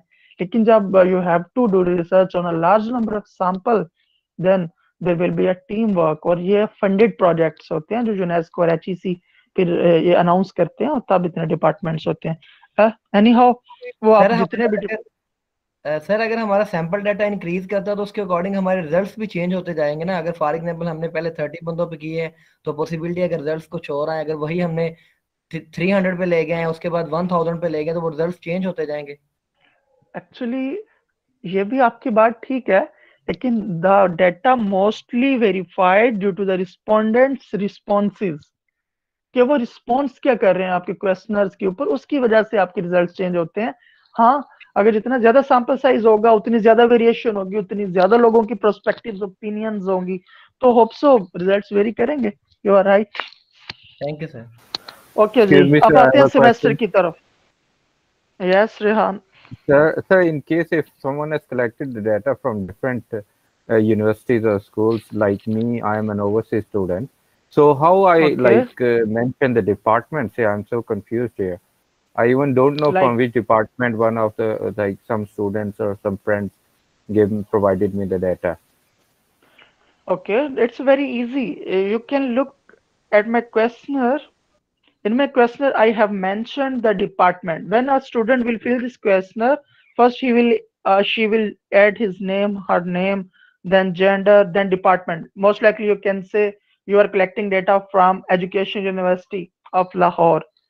The student was sitting at that time in the corridor, belongs to the sociology department and his friend uh, belongs to the engineering department and that group of students belongs to the different department वो पाँच छह लोग आपके questionnaire को पकड़ते हैं fill करते हैं everybody will write a different department here उसने डिफरेंट डिपार्टमेंट अपना लिख दिया इधर अब आपको इनका डाटा एंटर करना है और एंटर करने के लिए आपको एसपीएसएस फ़ाइल में जाना पड़ेगा एसपीएसएस फ़ाइल में वेरिएबल व्यू के अंदर जाएँगे आप डिपार्टमेंट के ऊपर जाके यहाँ पे आप उनकी ऑप्शन रखते हैं। लो जी three for engineering fourth for sociology इस तरह आप करके जितने डिपार्टमेंट हो उनको ऐड करते जाएँ और एट द एंड उनका जो डाटा होगा, वो इधर आपको जब मौका मिले डिपार्टमेंट के अंदर, उसको रखिएगा। जब इसके ऊपर टेस्ट अप्लाई करेंगे ना तो वो टेस्ट अप्लाई करने के बाद क्लियरली आपको बताएगा कि इतने स्टूडेंट आपके मेल थे इतने फीमेल थे इतने इस डिपार्टमेंट से थे इतने इस डिपार्टमेंट से थे इनका रिज़ल्ट ये आया इनका रिज़ल्ट ये आया। तो डिपार्टमेंट जितने भी हों it's not a big deal just you have to carefully manage the view file hope so I, I answered your question जी सर ये जो आप बता रहे हैं इतने मेल इतने फीमेल इतने डिपार्टमेंट ये सारा रिज़ल्ट तो गूगल फॉर्म्स के ऊपर भी आ जाता है जो समरी आती है. Are right. Uh, questionnaire is also available there to how many males and females responded your question but the matter in the r- analysis is different. वो हम आगे डिस्कस करते हैं। लें जी इसको आप जल्दी से मैं कवर करता हूँ। सेमेस्टर हो सकता है one for one semester two for two three for three four for fifth इसी तरह जो आपके सेमेस्टर्स आए। उनको आप रिस्पोंडेंट कर सकते हैं। ज़रूरी नहीं है कि एक सीक्वेंस में चले कभी फ़र्स्ट सेमेस्टर वाला आएगा कभी एट्थ वाला आएगा कभी थ्री वाला आएगा कभी फीमेल आएगी कभी सारी फीमेल आ जाएँगी कभी सारे मेल्स आ जाएँगे। तो जो भी आ, आपके पास आए आपके लिए वरीड होने वाली कोई बात नहीं। जो आपके सामने आ रहा है बस यहाँ ऐड करते जाएँ। इसी तरह एक्सपीरियंस के लिए है इसी तरह जॉब इंस्टीट्यूट के लिए पब्लिक या प्राइवेट आपने वो ऐड कर देना है। इस तरह सीजीपीए के लिए जो कुछ है आपने ऐसे ऐड कर देना है। इसी तरह रेजिडेंस के लिए भी वन वो आपने ऐड करते जाना अच्छा जी, अब आती है स्टेटमेंट की बारी। स्टेटमेंट में किसी ने स्ट्रांगली अग्री वन था अग्री टू था न्यूट्रल थ्री था डिसअग्री फोर था और डिसअग्री स्ट्रांगली डिसअग्री फाइव था। अभी किसी ने डिसअग्री पहली स्टेटमेंट को किया हुआ है तो वो फिफ्थ आएगा। सेकंड स्टेटमेंट को उसने किया होगा अग्री किया होगा तो वो टू आ जाएगा। थर्ड स्टेटमेंट को उसने न्यूट्रल किया होगा तो वो थ्री आ जाएगा। फोर्थ स्टेटमेंट हो सकता है उसने स्ट्रांगली अग्री किया हो तो वो वन आ जाएगा। फिर आगे आगे हो सकता है उसने फिर स्ट्रांगली अग्री किया हुआ तो फिर वन आ जाएगा। इसी तरह जो उसने आपके क्वेश्चनर को रिस्पॉन्स किया हुआ है, वो एज इट इज़ आपने जो वैल्यू दी थी उसके अकॉर्डिंग यहाँ ऐड कर देना है। होप सो यहाँ तक सबको क्लियर हो गया होगा कि डाटा कैसे एंटर करना है फ़ाइल कैसे बनानी है। अब यहाँ तक मेरे से क्वेश्चन पूछ लीजिए, फिर हम एनालिसिस की तरफ़ जाते हैं। गॉट इट जी सर सर, क्लियर ये पूछना था कि अब मैंने जो है ना क्वेश्चन जो ये स्केल आप वाला यूज़ किया है। लेकिन ओके मैंने अपना टोटल यानी कि काउंट करके ना फ़र्ज़ करें फ़र्स्ट जो है ना स्ट्रांगली एग्री वो 94 जो है ना लोगों ने जवाब दिए। तो मैंने वो हम्म इकट्ठा करके तो वो क्या ऐसे सेपरेट सेपरेट करके लिख देना है? अ, आपने वो बड़ी मेहनत की है लेकिन वो करने की ज़रूरत नहीं है ना ही वो एक अच्छा रिस्पॉन्स आपके पास एक्चुअल डेटा एनालिसिस होगा। जो मैं बता रहा हूँ इसी तरीके से आप करेंगी और फिर आगे आपको दिखाते हैं कि उनके रिजल्ट्स कैसे आते हैं जब एनालिसिस करेंगे। सर वो सर सर ना मैंने वीडियो देखी थी उसमें ना परसेंटेज निकालने का सीन था। तो परसेंटेज तो फिर ऐसे काउंट करके निकलता है ना? परसेंटेज भी आपको यहाँ पे निकालना सिखाएँगे फ्रिक्वेंसी भी दिखाएँगे आपको टी टेस्ट भी लगाना सिखाएँगे इनोवा पीएसएनआर काई स्केल चीज़ें देखेंगे। अ, लेकिन अभी आप देखिए आपने जो काम किया है वो भी शायद ठीक हो सकता है। लेकिन जो एक्चुअल है मैं आप सबको वो सिखा रहा हूँ। सर एक क्वेश्चन है काइंडली जी बताइए। सर अगर स्केल है जो मेरे पास डाटा है क्वेश्चनियर तो उसमें मैंने कुछ में यस नो है कुछ में यस नो है सम टाइम्स है तो मैं कौन सा स्केल यूज़ करूँ इसमें? देखिए one for yes two for no three for sometimes नहीं सर उधर ऑप्शन में जो चार स्केल्स है उसमें से कौन सा लूँगा मैं? टाइप स्केल की। नॉमिनल हाँ, तो स्केल और उसका नॉमिनल स्केल ऑर्डिनल ले लें। सॉरी सॉरी यस नो और समटाइम्स इसके अलावा कोई है और ऑप्शन सर कुछ उसमें यस नो और समटाइम्स वाले हैं कुछ यस नो वाले हैं कुछ आप वाला फाइव पॉइंट वाला भी है। हाँ जी जो यस जो यस नो है उधर डेफिनेटली नॉमिनल जिसमें यस नो और समटाइम्स उधर ऑर्डिनल लगाएँगे आप और बाकी सब पे जाएँ आप स्केल की तरफ़। गॉट इट ओके ओके चलें जी। होप सो यहाँ तक सबके सवाल खत्म हो चुके होंगे अब हम अपने नेक्स्ट डेटा की तरफ़ जाते हैं एनालिसिस की तरफ़ सर चलो ये I have a EB1 और question. EB2 वाला रिपीट कर दें प्लीज़ अ, एक लड़का क्वेश्चन पूछना चाह रहा है कोई जी पूछिए मैं रिपीट करता हूँ I, have a question, sir. I uh, joined the meeting late, sir. EB1, EB2, EB3, all these are related to data view, right? You No, mentioned these the- numbers in the data view. Uh, These are sir, actually the statements. I have explained to these students. I have a Oh, questionnaire. This yeah, is I a got it. I got it. It's 33 statements. Hmm. And my independent variable for that which I have collected data was epistemological belief. That's why in this data file of SPSS, I mentioned epistemology for E, B for belief, and one for first statement. EB1 mean epistemological belief question of first statement and so on. It will move up to 33 that's why i use eb1 you can here mention s1 s2 s3 q1 q2 q3 all that. So it's up to you. Uh, ye choice so, so eb1 eb2 doesn't mean that it they refers to uh, strongly agree strongly disagree no, like no, this no, right? No. this okay. is just a statement and their responses will be added in the data view. Here, uh, where I mentioned five, two, three, one. This is actually the responses of statement one, two, three, and four, Oh. and so on. Hmm. Okay, fine. Repeat क्या करना है जी बोलिए ये जो EB1, EB2 के नीचे values डाली है ना इनको रिपीट करते हैं अच्छा बच्चे देखिए हो सकता है कि जो हमने पीछे वैल्यू रखी वन फॉर स्ट्रांगली अग्री था two for agree three for neutral four for disagree and five for strongly disagree था ओके अब मैंने क्या किया? उनमें से जो रिस्पॉन्सेज आएँगे वो नीचे ऐड कर दीजिए सिंपल सर एक क्वेश्चन ये है कि अब जो आपने वन टू ये मेल फीमेल का बताया है अब क्वेश्चन अगर ट्वेंटी है तो फ़र्स्ट पे हम ट्वेंटी वालों सारा जो है उनका फिल कर देंगे। डेफिनेटली दोबारा पीछे जरा मैं आपको दोबारा काइंडली रिपीट करें आप। सर मैं ये कह रही हूँ कि अब मेरे क्वेश्चन जो है ना वो ट्वेंटी हैं। तो जो फ़र्स्ट आपने बताया है कि हम यहाँ पे अगर फ़र्ज़ करें फजल है उसने फ़र्स्ट फिल किया है तो उसका एक के लिए क्या यूज़ होगा? सर वो समझ नहीं आ रही मुझे। देखिए जी फ़र्स्ट आपका जो आपने के पास आपका डेटा आ गया 200 सर यानी कि एक अ, जी पूछिए।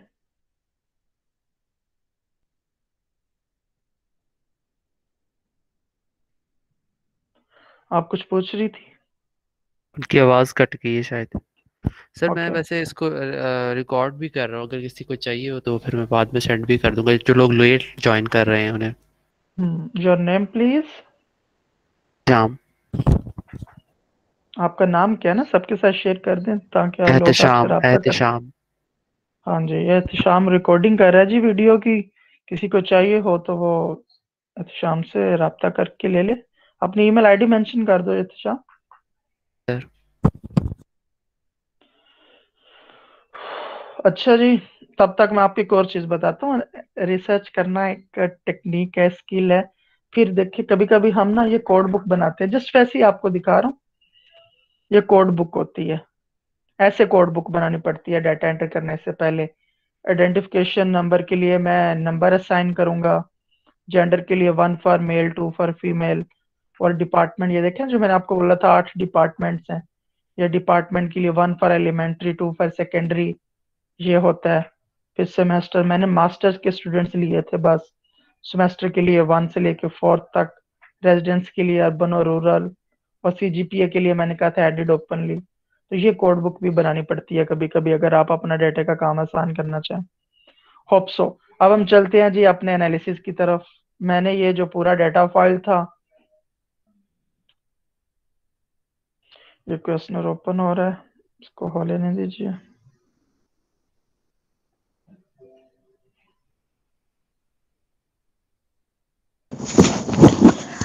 सर मैं एक चीज़ पूछना चाहती थी।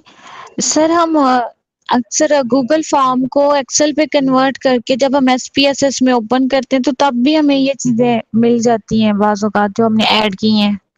जी मिल जाती हैं लेकिन उससे पहले आपको वेरिएबल व्यू पूरा बनाना पड़ता है। वेरिएबल व्यू बनाने के बाद आपने जो डाटा एंट्री है वो इजी हो जाती है उधर से डायरेक्ट कॉपी कर लें या ट्रांसफॉर्म कर लें। अभी दो सेकंड पहले आपने जो बात की ये रिपीट कीजिएगा मेरा डिस्कनेक्ट हो गया था। सर आप आप बताएँगे कैसे हम एक्सेल फ़ाइल को इंसर्ट करते हैं स्पेसेस में डाटा के लिए? आपको मैं वो पूरा मैनुअल शेयर कर दिया हुआ है आप लोगों के साथ शायद अगर नहीं तो अभी मैं जो है ना नीचे उसका लिंक मेंशन कर देता हूँ वो जाके S P S S file open कीजिए उस मैनुअल के अंदर literal information is also available there छोटी से छोटी चीज़ उधर अवेलेबल है एक्सेल को करना कैसे अब एस पी एस एस में एस पी एस एस से एक्सेल में कैसे जाना है? गूगल फॉर्म से डाटा कैसे ट्रांसफॉर्म करना है? वो सारी चीज़ें आपको मिल जाएँगी। क्योंकि इस छोटे से सेशन में हम बहुत ज़्यादा काम नहीं कर सकते वो भी इसी से लिंक्ड है। लेकिन जी अच्छा ये मेरी पास ये सर जेंडर से फ़र्क पड़ता है अगर मेल्स मेरे जिस तरह जो वन प्लीज़ मेल्स सर, मैं ये पूछ रहा था कि जेंडर से फ़र्क पड़ता है रिस्पॉन्सेज में क्या क्योंकि मेरे जो रिस्पॉन्स ज़्यादा लोगों ने मेल्स ने दिए हैं सिक्सटी सिक्स या सिक्सटी सेवन परसेंट उससे रिज़ल्ट पे फ़र्क पड़ेगा? कोई फ़र्क नहीं पड़ता, मैं पहले भी बता चुका हूँ, ये जेंडर ये डिपार्टमेंट ये सेमेस्टर इनका कुछ फ़र्क नहीं पड़ता। फ़र्क पड़ना है तो आपके सैंपल साइज़ से प्लस आपके जो लोग हैं, वो क्या रिस्पॉन्स क्या कर रहे हैं? आपके क्वेश्चन पढ़ने के बाद वो क्या टिक लगा रहे हैं? फाइव लगा रहे हैं थ्री लगा रहे हैं टू लगा रहे हैं वन लगा रहे हैं। आपका सारा डाटा इन इन चीज़ों से वेरी करता है। बाकी ये जो जेंडर और डेमोग्राफिक वेरिएबल्स ये समझ लें जस्ट डमीज हैं, जो हम मोर इन डेप्थ इंफॉर्मेशन निकालने के लिए, अपने कोई एनालिसिस को थोड़ा बढ़ाने, चढ़ाने के लिए और थोड़ी सी डायरेक्शनल इंफॉर्मेशन लेने के लिए ऐड करते हैं। बाकी जो एक्चुअल आपका डाटा है और बाकी सारी चीज़ें हैं, वो इसी से ही आती हैं, जो आपके रिस्पॉन्स होते हैं। यहाँ तक सबका क्लियर हो गया जी? ये देख ले, मेरे पास ये पूरी फ़ाइल मैंने आपके सामने बनी ओपन कर ली। ये था मेरी वेरिएबल सारे, वो मैंने ऐड किए हुए थे थर्टी थ्री तक। मेरे पास तो खैर काफ़ी स्केल्स थे जब मैं उस वक्त यूज़ कर रहा था। तो ये आपके सामने है। सारी फ़ाइल अब एक चीज़ आपको मैं और बताना चाहूँगा। कंप्यूट वेरिएबल क्या होता है? कंप्यूट वेरिएबल क्यों यूज़ करते हैं? अब आपके पास, मेरे पास जिस तरह थी थर्टी थ्री स्टेटमेंट्स और एक मैं चाह रहा था कि दूसरा क्वेश्चनर भी लिया था मैंने, उनकी परसेंटेज ऑफ़ नंबर्स कि उनके एकेडमिक अचीवमेंट में उनके नंबर्स क्या आते हैं। उसके ऊपर मैंने जब डेटा कलेक्ट किया तो उसके लिए कंप्यूट वेरिएबल करना पड़ता है, लेकिन उसके ऊपर अभी बात करते हैं कि कंप्यूट वेरिएबल कैसे करते हैं। सबसे पहले मैं आपको बता दूँ आपने जाना है ट्रांसफॉर्म पे। ट्रांसफॉर्म पे जाने के बाद पहला ही जो है ना वो है कंप्यूट वेरिएबल शो हो गया सबको?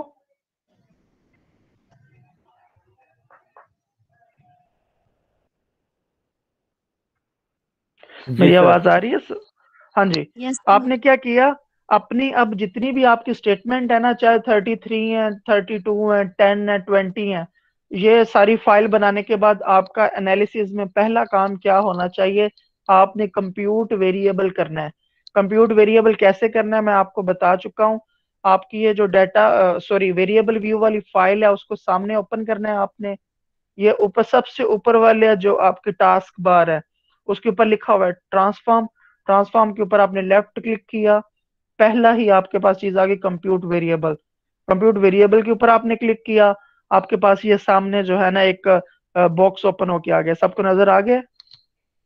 यस सर ओके फाइन ये जो आपको आईडी जेंडर ये सारा कुछ नज़र आ रहा है इसके ऊपर आके किसी भी स्टेटमेंट के ऊपर आपने राइट क्लिक करना है और पहले वाले को क्लिक कर देना। डिस डिस्प्ले वेरिएबल नेम्स कि जो आपने वेरिएबल्स के नेम रखे होंगे ना वो ही बस शो हो आपको। ये देखें मेरे पास जो थे जेंडर सेमेस्टर रेजिडेंस ये शो हो रहा है। और नीचे आपकी स्टेटमेंट्स आएँगे S one S two S three या क्यू वन या जो आपने निक नेम रखा होगा, बस ये आएगा। इस तरह टोटली आपके पास आता जाएगा। अब आपने कंप्यूट वेरिएबल में क्या करना है? सबसे पहले टारगेट वेरिएबल का नाम रखना है।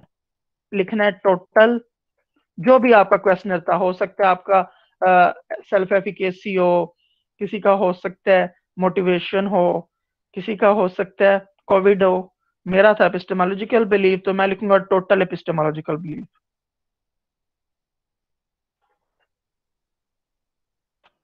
ठीक है जी, ये देखिए टोटल एपिस्टेमोलॉजिकल बिलीफ और इधर मैं आ जाऊँगा, अब क्लिक करूँगा न्यूमेरिक एक्सप्रेशन के ऊपर.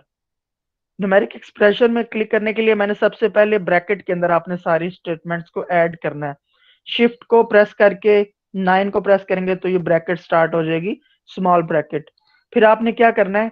ये टेबल और लेबल में क्या किया? पहली स्टेटमेंट थी मेरी एल डी टी वन इनकी पहली स्टेटमेंट ये, उसके ऊपर क्लिक किया और ये जो एरो का निशान है, इसके ऊपर क्लिक किया। तो स्टेटमेंट उधर चली गई आपकी। नीचे से आपने ये ऐड वाला निशान कर दिया प्लस फिर सेकंड स्टेटमेंट इसी तरह, फिर plus third statement plus fourth statement plus fifth plus. इसी तरह आपने टोटल जितनी आपकी स्टेटमेंट्स होंगी, पाँच, दस, पंद्रह, बीस, जितनी भी होंगी। आपने इसी को लेके हर एक स्टेटमेंट के बाद प्लस प्लस करते जाना है।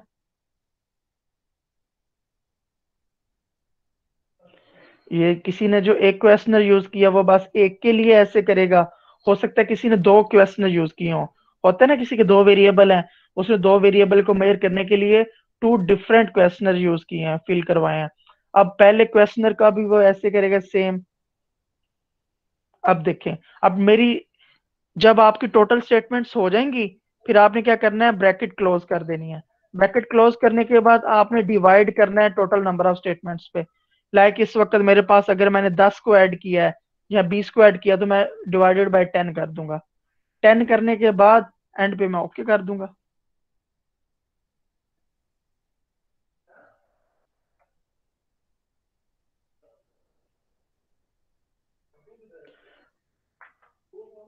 इसमें ऑल स्टेटमेंट्स डालनी है। एक क्वेश्चनर की जितनी स्टेटमेंट है दस बीस तीस चालीस उन सबको वन बाय वन ऐड करके और टोटल नंबर ऑफ़ स्टेटमेंट्स जो आपने ऐड की हैं उस पर डिवाइड करना है और एंड पे आपने ओके okay कर देना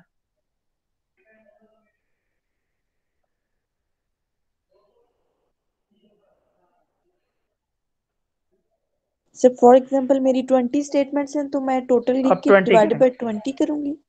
जी ट्वेंटी करेंगे। ये देखिए ये आ गया।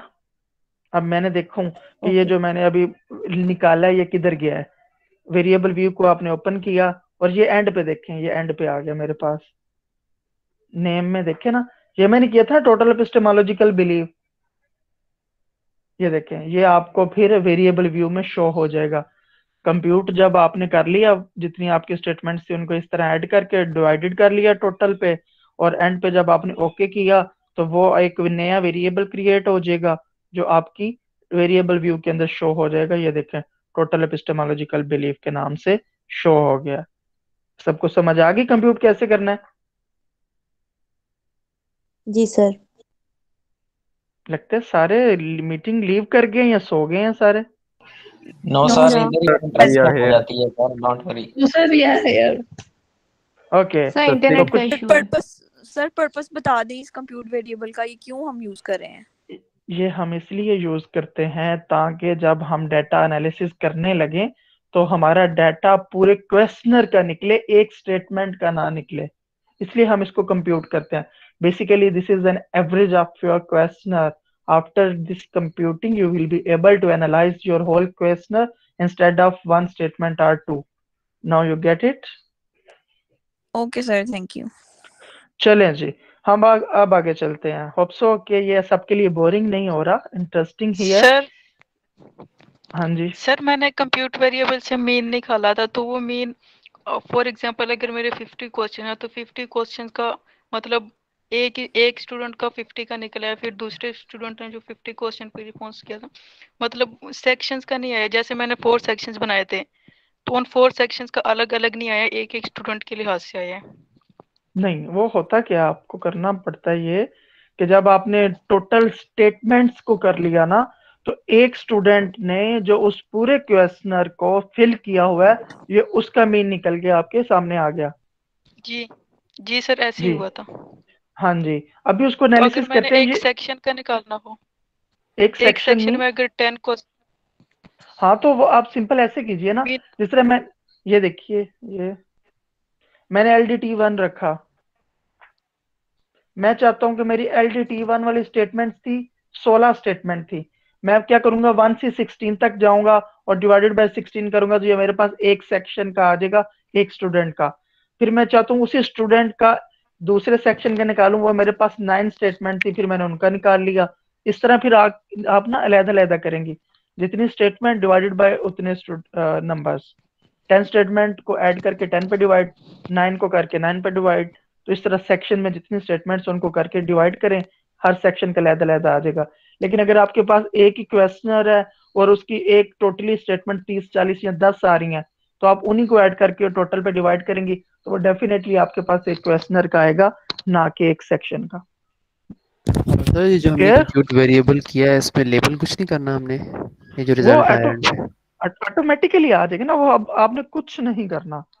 जो नीचे मैंने आपको बताया था ना, इधर आ गया था, ये देखें। ये एपिस्टेमोलॉजिकल बिलीफ आ गया था। आपका इसके साथ कोई लेना देना नहीं। जो पहले फ़ाइल बनानी थी, बन गई। डेटा एंटर करना था, कर दिया। अब हम एनालिसिस के ऊपर बात कर रहे हैं। एनालिसिस में मैंने पहली बात बताई कंप्यूट वेरिएबल करना है। कंप्यूट वेरिएबल करने का मैंने तरीका बता दिया। मैंने उसकी कोई लेबलिंग नहीं सिखाई, कोई वैल्यू नहीं सिखाई, कोई कुछ नहीं सिखाया। गेट इट सर आपके जो कंप्यूटर वेरिएबल्स में L D one L D two आपकी जो स्टेटमेंट्स हैं वो ऑलरेडी नंबर में आ रही हैं वो कैसे चेंज किए हैं? ये वाली?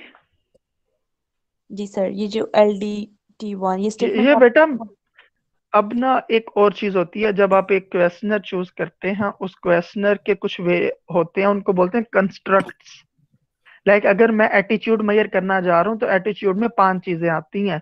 इंटरेस्ट आता है मोटिवेशन आती है एंजॉयमेंट आती है और उसके अलावा वर्थ आती है, एक और पॉइंट आता है। ये पाँच चीज़ें जब आप डिफरेंटली या पाँच सेक्शन इकट्ठे मेजर करेंगे ना तो तब एक बंदे का एटीट्यूड मेजर होता है। तो उन पाँच को कंस्ट्रक्ट बोला जाता है या पाँच सेक्शन बोला जाता है और उस पाँच सेक्शन की एक क्वेश्चनर के अंदर डिफरेंट नंबर ऑफ़ स्टेटमेंट्स हो सकती हैं। जिस तरह मेरे पास ये था, एक सेक्शन की मेरे पास सोलह स्टेटमेंट थी नीचे वाले की फिर और थी। ये आपने खुद ऐड करना होता है ना, ये क्वेश्चन जब चूज़ करते हैं, ये बड़ी इन डेप्थ जाके रिसर्च जब आप कर रहे होते हैं ये आप कंस्ट्रक्ट को सामने रखते हैं, फिर उन डिफरेंट कंस्ट्रक्ट की डिफरेंट स्टेटमेंट्स ऐड करते हैं। इसलिए तो मैंने आपको उधर बीई वन बीई टू सिखाया था एस वन क्यू वन नहीं सिखाया था जनरली क्योंकि मुझे पता है ना कि डिफरेंट जब आपके पास वेरिएबल होते हैं तो मिक्सअप हो जाता है। तो डिफरेंट को आपने याद रखना तो उनकी निकनेम से याद रखते हैं। इसलिए हम वही ऐड कर रहे होते हैं। तो अगर आपके पास तीन चार सेक्शन या तीन चार कंस्ट्रक्ट्स हैं तब तो आप ऐसे कीजिए। अगर आपके सीधी सीधी बीस दस तीस स्टेटमेंट्स हैं तो कोई फ़ायदा नहीं आपको ये सेक्शन बनाने का। Just S one S two और एस थर्टी तक लेके जाइए। लाइक सर हम जस्ट वही स्टेटमेंट्स पुट कर दें कोई इशू नहीं है। नो इशू नो इशू मैं जरा पानी पी लूँ। ओके थैंक यू सर ये कंप्यूट सर मेरे वेरिएबल करते हुए में सर मेरे क्वेश्चनर में ना तीन वेरिएबल्स हैं। एक इंडिपेंडेंट है और दो उस पर डिपेंडेंट वेरिएबल्स हैं। तो क्या मैं तीनों के लिए ऐसे सेक्शन बना लूँ? जी बिल्कुल। आप तीनों के लिए अलहदा कंप्यूट करेंगे ये कंप्यूट वेरिएबल में जब आपने टोटल एपिस्टेमोलॉजिकल बिलीफ लिखा था तो इसमें स्पेस दी थी या नहीं दी थी? नहीं देनी वरना वो सिस्टम एक्सेप्ट ही नहीं करेगा।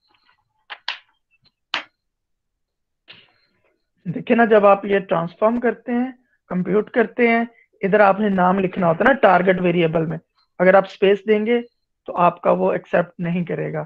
ये विदाउट स्पेस आपने पूरा नाम लिखना है एंड पे ओके कर देना सिंपल सर मुझे कुछ पूछना है? जी पूछिए। सर आपने कहा है कि हम लोग क्या करेंगे सब सबको ऐड करेंगे कंप्यूटर में उनकी मीन आ जाएगी। फॉर एग्जांपल अगर हमारे टेन क्वेश्चंस हैं तो उनकी मीन किस फॉर्म में आएगी हमारे पास? मतलब उससे क्या ड्रॉ करेंगे रिज़ल्ट कुछ भी नहीं फ़िलहाल कंप्यूट हो गया आपका।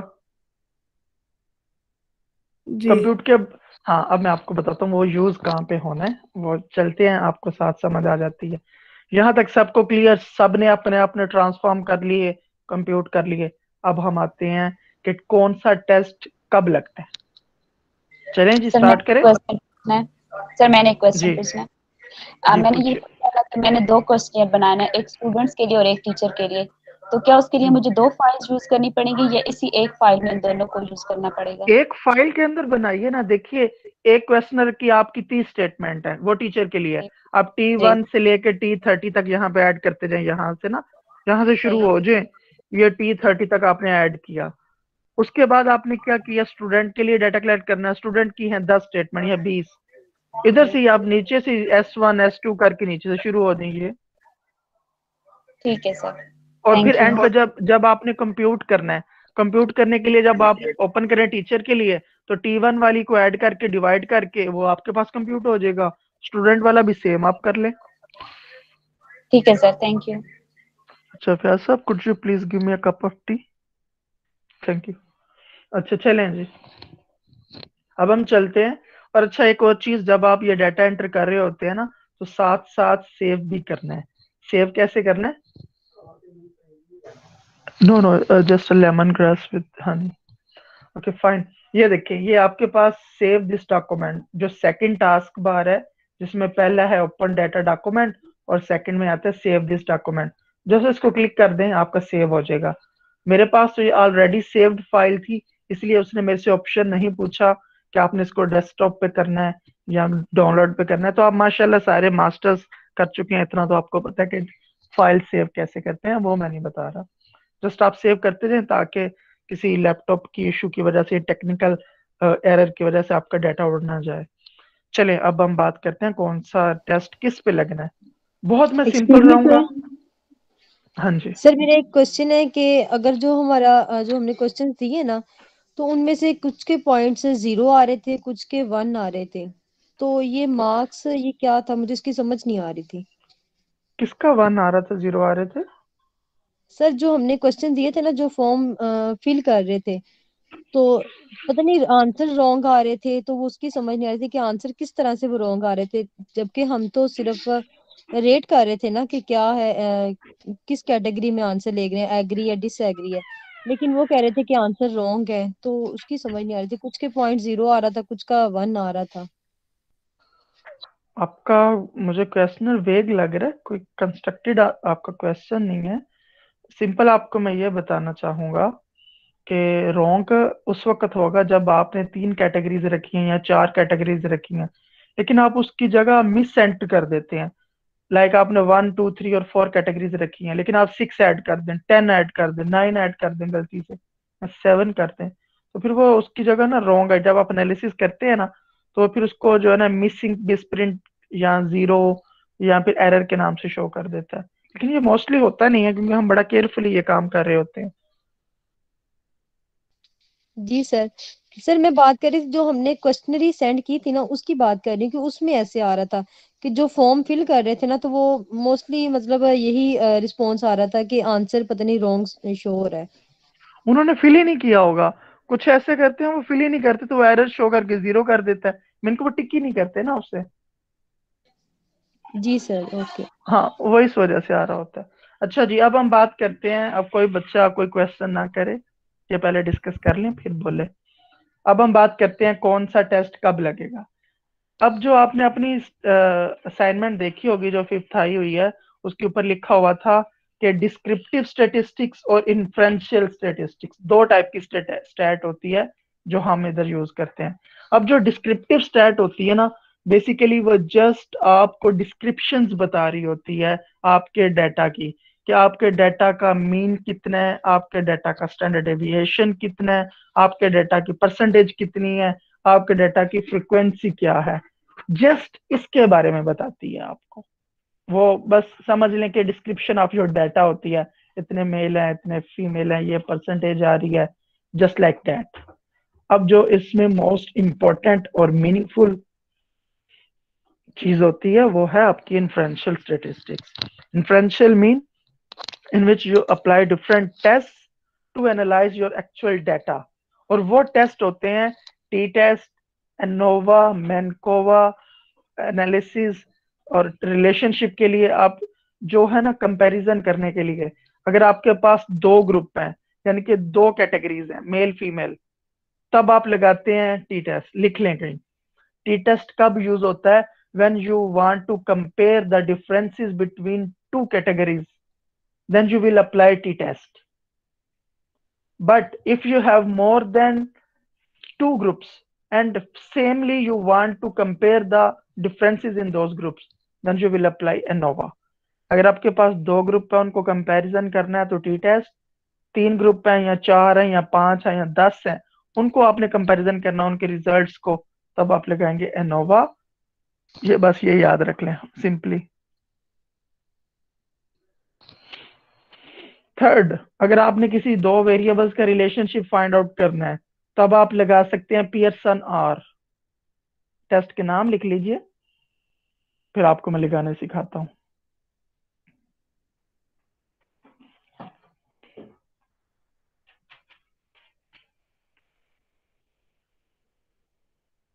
टी टेस्ट सर दो कैटेगरीज के लिए होते हैं। हाँ जी। इनमें कौन कौन से स्टूडेंट है जिनका मैं सुपरवाइजर हूँ?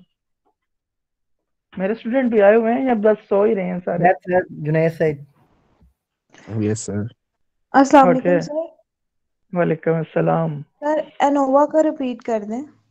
ANOVA is used if we have more than two categories of the groups and we want to compare the results of those groups then we will implement ANOVA one way ANOVA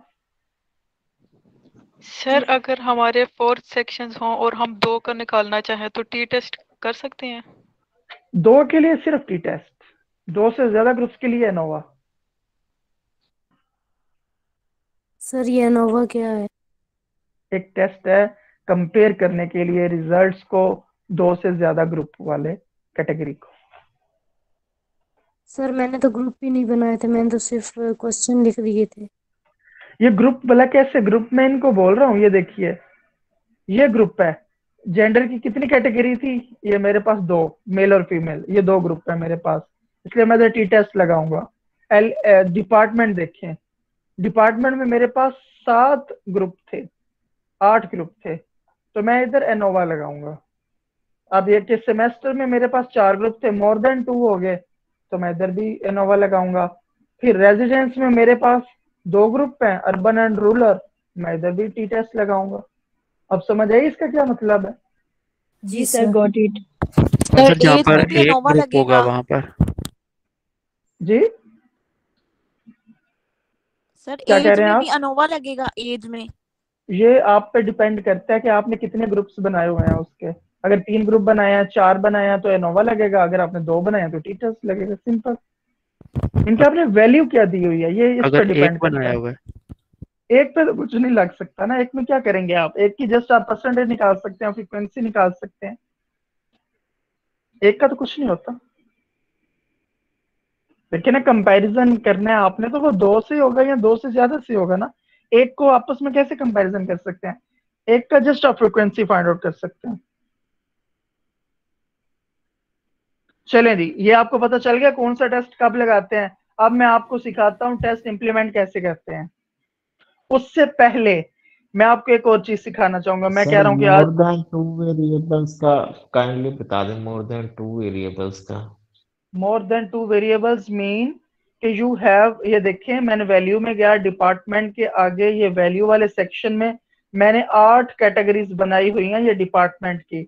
ये मोर than two groups है मेरे पास यानी कि आठ different group हैं sir ये नहीं बात कर रहा मैं बात ये कर रहा हूँ कि एक इंडिपेंडेंट वेरिएबल है और उसका इफ़ेक्ट आ रहा है दो डिपेंडेंट वेरिएबल्स पे। तो हाँ उसके लिए कौन सा टेस्ट उसके लिए आप अगर आप एक का इफ़ेक्ट दो पे देखना चाह रहे हैं या आप ये देखना चाह रहे हैं कि इन दो में से किसके ऊपर ये एक जो है ज़्यादा इफ़ेक्ट कर रहा है तो आप एक का दूसरे के साथ और एक का तीसरे के साथ लहदा लहदा भी कर सकते हैं, यानी कि पहले का पहले दूसरे के साथ कर लें, फिर पहले का तीसरे के साथ कर लें। तो उसके लिए आप लगाते हैं, ज़्यादातर टी टेस्ट भी लगा सकते हैं, अगर आप कंपेयर करना चाह रहे हैं। अगर आप रिलेशनशिप फाइंड आउट करना चाह रहे हैं तो आप पियर्सन आर लगाएँगे। अगर आप चाह रहे हैं कि तीनों का इकट्ठा ही करें तो फिर वो रेग्रेशन एनालिसिस आता है, वो थोड़ा कम्प्लेक्स होता है। अगर आपने वो भी करने का दिल हुआ आपका तो वो भी आपको सिखा देंगे। एक बार बता दूँगा, फिर आप करते रहिएगा। वो रिग्रेशन एनालिसिस होता है। चलें जी, अब मैं आपको बताता हूँ पहले मैंने कंप्यूट वेरिएबल सिखाया एनालिसिस में, दूसरा आपको बताना चाह रहा हूँ कि what is the reliability of your questionnaire reliability होता है कि how much your scores of the respondents are consistent कि कितना कंसिस्टेंटली आपके रिस्पोंडेंट्स ने आपके क्वेश्चनर को रिस्पॉन्स किया है, ये इस चीज़ की, इस चीज़ को कहते हैं रिलायबिलिटी कि आपका डाटा या आपका क्वेश्चनर कितना रिलायबल था। लोगों को कितना समझ आया है। लोगों ने कितना कंसिस्टेंटली उसको आंसर किया है। ये आपको बताता है आपका रिलायबिलिटी रिलायबिलिटी कैसे निकालते हैं? ये एनालाइज पे गए वही फ़र्स्ट टास्क बार एनालाइज पे गए। स्केल पे आए। स्केल में पहला ये देखे रिलायबिलिटी हाँ दे दो। रिलायबिलिटी को क्लिक किया आपने। रिलायबिलिटी को क्लिक करने के बाद आपके क्वेश्चनर की स्टेटमेंट्स हो सकती हैं, तेईस हो तीस हो जितनी भी हैं, उन सारी स्टेटमेंट्स को ऐसे आपने क्या करना है सिलेक्ट कर लेना है। जितनी स्टेटमेंट शिफ्ट को प्रेस करके नीचे तक आते जाना जितनी स्टेटमेंट्स हों, उनको सिलेक्ट करके ये आइटम के अंदर डाल देना फिर ये स्टेटिस्टिक्स वाला आपको एक, जो है ना, वो नज़र आ रहा होगा, इसको प्रेस किया। इसमें आपने क्या किया? मीन जो आपको पता ना मैंने बताया था कि आपने मीन कैसे निकालना वो डिस्क्रिप्टिव स्टेटिस्टिक्स में। मीन निकाल लिया आपने तो इसमें मीन ही इनफ होता है। मीन को करके कंटिन्यू कर दिया और फिर ये आपने ओके प्रेस कर दिया। ओके प्रेस करने के बाद ये आपके पास एक आउटपुट फ़ाइल ओपन होके आ गई है जिसके ऊपर ये देखें टेबल शो हो रहे हैं आप सबको। इस यस तरह आ, यस इस, इस तरह जो आपने बेटा वो साथ ही साथ ही फ़ाइल ओपन हो जाएगी आपके एसपीएसएस में साथ ही फ़ाइल ओपन होती है उसको आउटपुट फ़ाइल बोलते हैं। तो आउटपुट फ़ाइल में मैंने पहला टेस्ट अप्लाई किया रिलायबिलिटी का वो आपको ऊपर शो हो रहा है। रिलायबिलिटी के टेस्ट में मैंने आपको दिखाया। ये एन मेरा बता रहा है कि भाईजान आपके 330 लोग थे जिन्होंने आपको डाटा दिया। उसके बाद परसेंटेज हंड्रेड आ रही है मतलब कि मैंने कोई भी मिस नहीं किया। मेरा डाटा बिल्कुल एग्जैक्टली एंटर था। एक्सक्लूड देख लें ज़ीरो है। कोई भी एक्सक्लूड नहीं किया। अब ये देखें, आता है Cronbach alpha reliability check करने के लिए जो कोफिशिएंट यूज़ होता है स्टैट में उसको बोलते हैं Cronbach alpha Cronbach alpha की वैल्यू आपने चेक करनी होती है दरमियान वाली। Cronbach alpha based on standardized item वो है पॉइंट एट नाइन सिक्स ये वन तक होती है। ज़ीरो पॉइंट ज़ीरो ज़ीरो से लेके वन पॉइंट ज़ीरो ज़ीरो तक वैल्यू आती है इस रिलायबिलिटी की। और इसकी जो गुड वैल्यू होती है वो पॉइंट सिक्स से लेके पॉइंट सेवन तक होती है और जिसकी एक्सीलेंट वैल्यू है वो पॉइंट एट से लेके वन पॉइंट ज़ीरो ज़ीरो तक जाती है। और अगर आपके स्केल की वैल्यू पॉइंट फाइव से लेस जाती है इट्स मीन कि कुछ तो गड़बड़ है।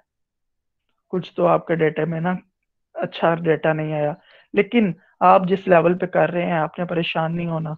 जो भी आई रिपोर्ट कर देना। टेंशन नहीं लेनी। ये, लेकिन अगर आप चाह रहे हैं कि आपका कोई पब्लिकेशन हो ये आप इंटरनेशनल या एच के जर्नल में पब्लिकेशन करवाना चाह रहे हैं तो फिर ये एक छोटी छोटी चीज़ का भी ख्याल रखना पड़ता है आपको। मैं साथ ही इसका आपको टेबल बनाना सिखा रहा हूँ जी। सर इसमें सिर्फ़ हमने आपने सिर्फ़ अभी तक क्रोनबैक अल्फ़ा का बताया ना इसकी डिस्क्रिप्शन इसका क्या मतलब है? हाँ जी। मैंने पहले कंप्यूट वेरिएबल का बताया फिर मैंने बताया रिलायबिलिटी क्या होती है कि आपका डेटा के स्कोर्स कितने कंसिस्टेंट है और वो मैंने आपको बताने के बाद ये बताया कि उसका टेबल कैसे बनाना है। एनालिसिस करके दिखाया टेबल कैसे बनाते हैं। सिंपल ये वर्ड की फ़ाइल ओपन करें हेडिंग दें टेबल फोर्थ चैप्टर है ना आपका टेबल 4.1 ये लिखा आपने इधर हेडिंग दी reliability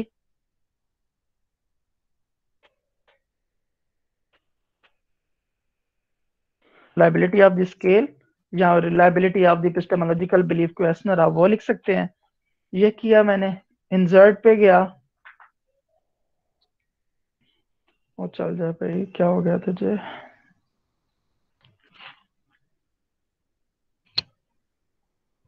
सर ये लाजमी इंसर्ट करना है ये वाला टेबल ये अच्छी रिसर्च में ऐड होता है ना करोगे तो आपके सुपरवाइजर पे डिपेंड करता है। मैं अपने स्टूडेंट को रिकमेंड करूँगा कि ये दे मस्ट ऐड अगर मैं इतना टाइम निकाल के लिए उनको सिखा रहा हूँ तो अगर वो ऐड ना करें तो किस काम का? बाकियों का दिल है तो कीजिए, ना कीजिए, वो उन पर डिपेंड करता है। अच्छा जी, आपने इंसर्ट पे गए टेबल को क्लिक किया, ये इंसर्ट टेबल पे क्लिक कर लेना आपने। अब इसके मुझे चाहिए तीन कॉलम चाहिए मुझे, और दो रोज चाहिए। ये देखिए, ये आपके पास ओपन होके आ जाएगा। इधर मैं लिखूँगा नंबर ऑफ़ आइटम्स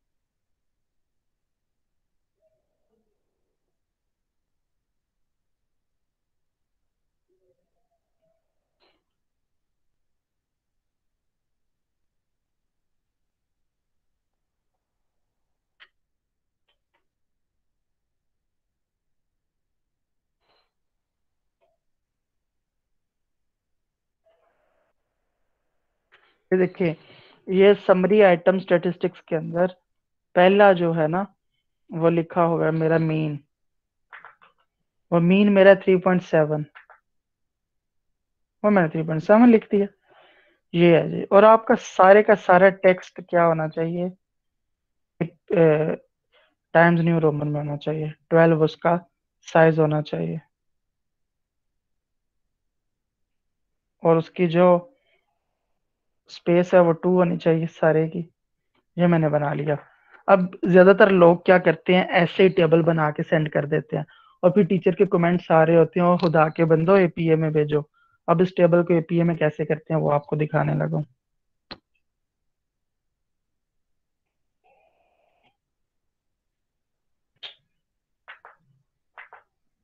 ये देखिए, उस टेबल को सिलेक्ट किया। इधर के ये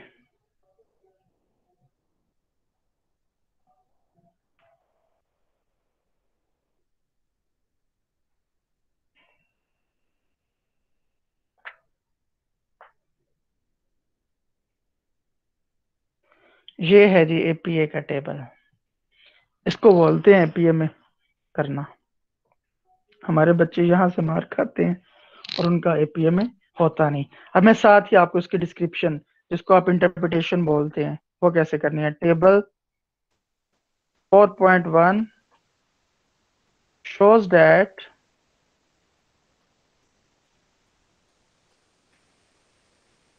there were 33 items in the epistemological belief scale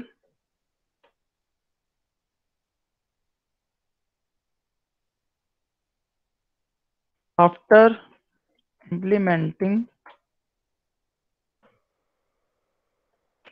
reliability test the value of Cronbach's alpha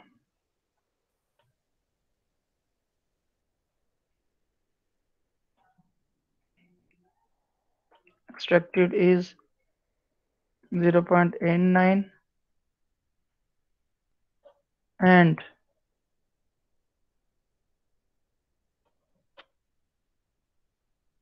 mean of items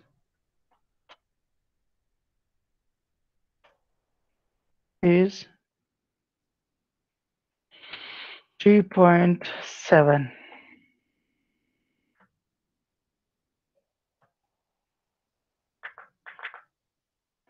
इस तरह आपने क्या करना है जी इसका। इंटरप्रिटेशन करनी है। यहाँ तक समझ आ गई आप सबको? यस सर चलें जी अब हम चलते हैं टी टेस्ट की तरफ़। सर ये एपीए का एक दफ़ा दोबारा बता दें आपने किस तरह से किया इसको? अच्छा जी बताता हूँ।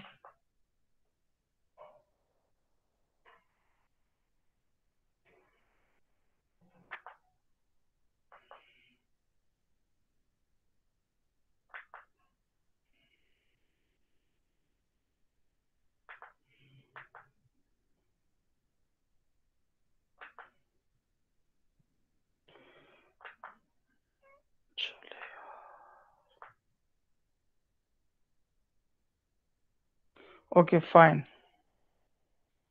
एपीए में कैसे करना है? जो आपने टेबल बनाया होगा, उसको ये कंप्लीट सिलेक्ट करना है। ये रिव्यू के नीचे बिल्कुल जाए। ये टेबल को सेट करने के लिए है। तो ये आपने इनसाइड बॉर्डर जो है ना, उनको सिलेक्ट कर लेना है। और फिर उसके बाद कभी लेफ़्ट को रिमूव कर दिया, कभी राइट को रिमूव कर दिया एट द एंड आपके पास टेबल आ जाएगा आपके एपीए के अकॉर्डिंग ये मैंने आपको शेप बता दिया कि ये है। अब हम चलते हैं।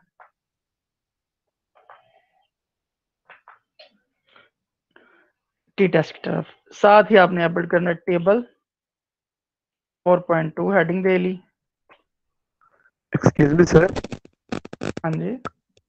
सर हमें तो हमारे सुपरवाइजर बोल रही है कि आपने अपने रिसर्च जो क्वेश्चंस है उनके अकॉर्डिंगली टेबल्स बनाने हैं। लेकिन आप तो जो हमें सब कुछ बता रहे हैं वो वेरिएबल्स के अकॉर्डिंगली बता रहे हैं। तो क्या समझ नहीं आई सर कि रिसर्च क्वेश्चंस का क्या करें और फिर टेबल्स किस तरह बनाते जाएँ? अच्छा जी मैं बताता हूँ। जो आपने अपने रिसर्च क्वेश्चंस बनाए होते हैं वो बेसिकली अपने वेरिएबल्स को देख के ही बनाए होते हैं। लाइक like, अगर मेरे पास ये देखें और फ़ाइल दिखाई दूँ आपको। देखें जब मैं एक क्वेश्चनर बनाता हूँ उस एक क्वेश्चनर के ऊपर मेरे कुछ वेरिएबल्स होते हैं। उन वेरिएबल्स को लेके मैं आठ, दस, नौ छ अपने रिसर्च क्वेश्चन बना लेता हूँ या हाइपोथेसिस बना लेता हूँ। जब वो रिसर्च क्वेश्चन और रिसर्च हाइपोथेसिस बन जाते हैं, फिर आपने उनके अकॉर्डिंग टेस्ट लगाने होते हैं। ये देखें। मेरे पास ऑब्जेक्टिव थे दो। उन दो ऑब्जेक्टिव्स को देख के मैंने अपने हाइपोथेसिस बनाए एक, दो, तीन, चार, पाँच, छ, सात। आपके रिसर्च क्वेश्चन होंगे। छ या सात। ठीक है? अब ये छह सात जब आपके पास क्वेश्चन आ जाते हैं तो उन क्वेश्चंस को देख के आपने टेस्ट लगाने होते हैं। लाइक like एक टेस्ट आपने कोई जेंडर के ऊपर क्वेश्चन बनाया होगा कि जेंडर के हवाले से। एक आपने बनाया होगा कोई डिपार्टमेंट के हवाले से जिस तरह मैंने बनाया था। फिर कुछ आपने बनाए होंगे उनके रिलेशनशिप फाइंड आउट करने के लिए। कोई आपने बनाया होगा डिफरेंस फाइंड आउट करने के लिए। अगर तो आपने ऐसे नहीं किया तो इट्स मीन कि यू हैव डन रॉन्ग क्योंकि ये देखिए, मेरा पहला क्या था hypothesis there is no significant mean difference between male and female फिर urban and rural prospective teachers फिर उनका एंड पर relationship between epistemological belief and academic achievement ये सारी चीज़ें आती हैं। तो अगर आपने ये ये पहले अगर आपको क्लियर हो ना तो आप अपने क्वेश्चनर ही ऐसे डिज़ाइन करते हो कि इजीली आप काम कर सको। और ये जो मैं अपने स्टूडेंट्स को बता रहा हूँ, ये आप सबको सिखा रहा हूँ, वो ये चीज़ सिखा रहा हूँ कि अगर आपके पास ये नहीं भी है, आपसे ये नहीं बने ठीक तरीके से तो आप डायरेक्टली किन चीज़ों को देख के बना सकते हो तो वो भी मैं बता रहा हूँ। इसलिए मैं पहले टेस्ट ये कंपैरिजन वाले टेस्ट बता दूँगा, फिर किसी का होगा कि उसने डेमोग्राफिक वेरिएबल ऐड ही नहीं किए होंगे।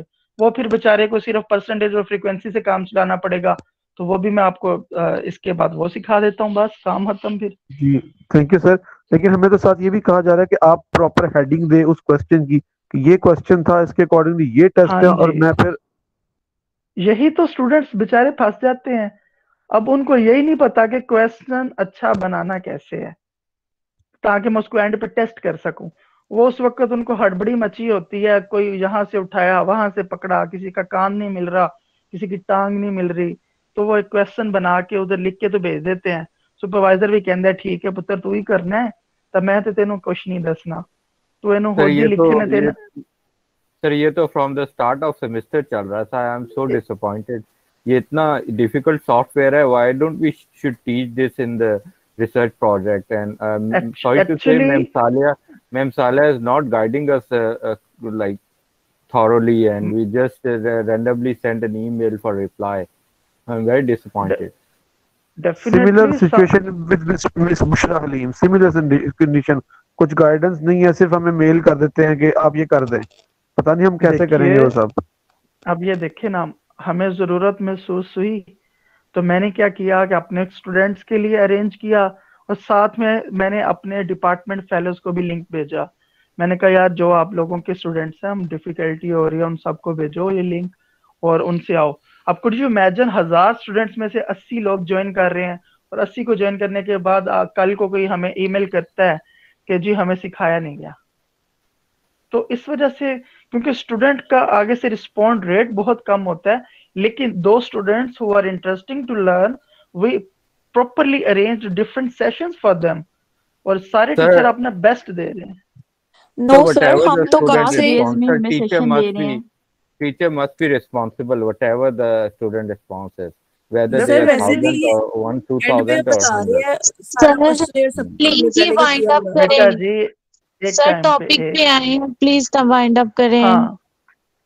हाँ देखिए ना कुछ बच्चों ने सोना है वो थक चुके हैं इसलिए हम अपने काम पे आते हैं। जी सुबह हमने जॉब पे भी जाना है सर प्लीज़ जल्दी exactly now we will move towards T test अब हमने ये जेंडर है दो कैटेगरी से टी टेस्ट लगाना है एनालाइज पे गए। अब ये देखिए फोर्थ नंबर पे कंपेयर मीन्स मैंने कहा था ये कंपैरिजन के लिए लगाते हैं। इसमें आपने इंडिपेंडेंट सैंपल टी टेस्ट को सिलेक्ट करना है। इंडिपेंडेंट सैंपल से टी टेस्ट है और इसमें है paired sample T test independent sample T test तब लगाते हैं जब आप दो ग्रुप या दो कैटेगरीज के लोगों से data at a time collect करते हैं। क्या आपने क्वेश्चनर जब आप सर्कुलेट कर रहे होते हैं, कोई फीमेल है, कोई मेल है टाइम सेम है कैटेगरीज डिफरेंट है। तब आप लगाते हैं इंडिपेंडेंट सैंपल टेस्ट और आप सबका ही इंडिपेंडेंट सैंपल टी टेस्ट लगेगा। लेकिन मैं साथ ही एक लाइन और ऐड करता जाऊँ पेड सैंपल टी टेस्ट कब लगाते हैं। जब आपका रिस्पोंडेंट एक है, लेकिन आप उससे डाटा दो मुख्तलिफ़ टाइम में लेते हो। लाइक एक बंदे से आपने आज डाटा लिया 18 2021 को। और उसी बंदे से आप तीन माह बाद डाटा लेते हो। तो अब उसी सेम बंदे के रिजल्ट्स को कंपेयर करने के लिए कि तीन मंथ पहले क्या था और तीन मंथ बाद इसके रिजल्ट्स में क्या जो वेरिएशन आई है, तब आप लगाते हैं पेड सैंपल टी टेस्ट लेकिन जो आप सब है, आप सब लगाएँगे इंडिपेंडेंट सैंपल टी टेस्ट ये आपने इंडिपेंडेंट सैंपल टी टेस्ट पे क्लिक कर दिया। आपने इस पर राइट क्लिक की और इसको बाय नेम अपने शो कर लेना हर बार। हर बार आपका काम है कि डिस्प्ले वेरिएबल नेम्स ये कर लिया आपने। अब आप किस वेरिएबल को टेस्ट करना चाह रहे हैं? तो ये ध्यान से सुन लिया। आपको पता है ना, हमने जो कंप्यूट किया हुआ था अपना पूरा वेरिएबल जो आपने अपना कंप्यूट किया होगा, उस वेरिएबल को आपने नीचे आके ढूंढना है, उसको सिलेक्ट किया और टेस्ट वेरिएबल के अंदर डाल दिया। क्या आपने जो क्वेश्चनर के ऊपर डेटा कलेक्ट किया है, उस क्वेश्चनर का आपने कंप्यूट करके टोटल निकाल लिया। उस टोटल को आपने इधर शिफ्ट कर देना है। फिर उसके बाद आप चाह रहे हैं कि जेंडर के ऊपर मैंने लगाना है, क्योंकि दो कैटेगरीज वाला टी टेस्ट तो उसी के ऊपर लगेगा। जेंडर को सिलेक्ट किया और ये ग्रुपिंग वेरिएबल में उसको एंटर कर दिया। ग्रुपिंग वेरिएबल में एंटर करने के बाद ये डिफाइन ग्रुप्स को क्लिक किया। ग्रुप वन को आपने वन रखना है ग्रुप टू को आपने टू रखना है। क्योंकि हमारे पास तो ग्रुप ही दो हैं इसके अंदर। फिर कंटिन्यू कंटिन्यू के बाद ओके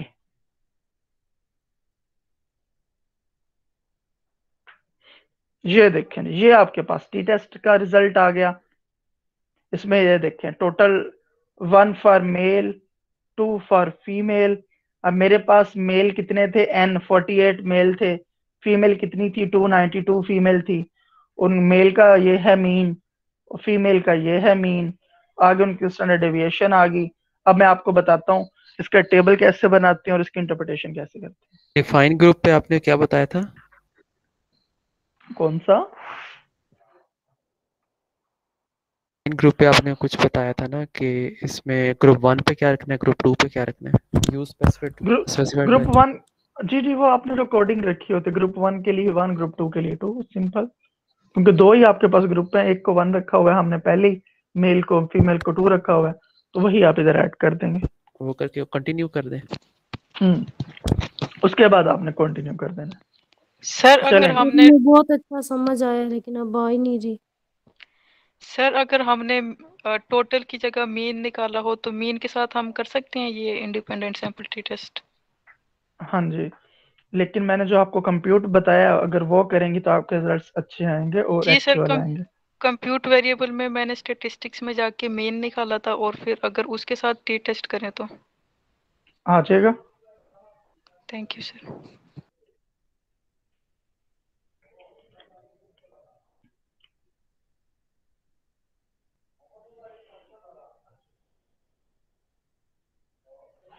चलें जी, अब इसका टेबल बनाते हैं।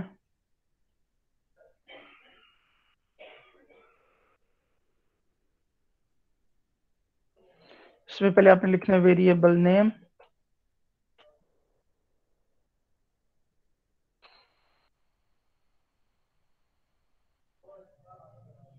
इधर आपका एन आएगा, इधर आपका मीन आएगा, इधर आपका स्टैंडर्ड डेविएशन आएगा, इधर आपका डिग्री ऑफ़ फ्रीडम आएगी जी वैल्यू आएगी इधर पी वैल्यू आएगी।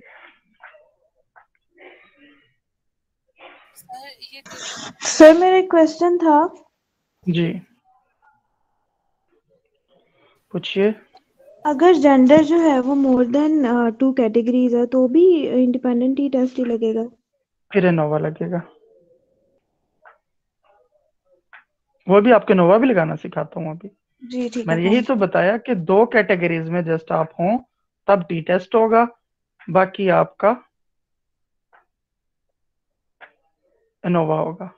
दो वेरिएबल थे हमारे पास एक था मेल इन्हीं के ऊपर आपने लगाया ना? दो ग्रुप थे जो आपके। इसको ग्रुपिंग वेरिएबल लिखे। सर ये टी के साथ आपने क्या लिखा हुआ है राइट पे? डिग्री ऑफ़ फ्रीडम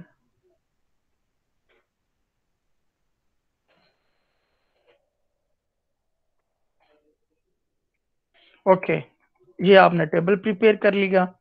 अब ये देखिए साथ साथ आपको चीज़ें सिखाता जाऊँ। एन कितना था? मेल आपके पास 48 थे। ये देखें।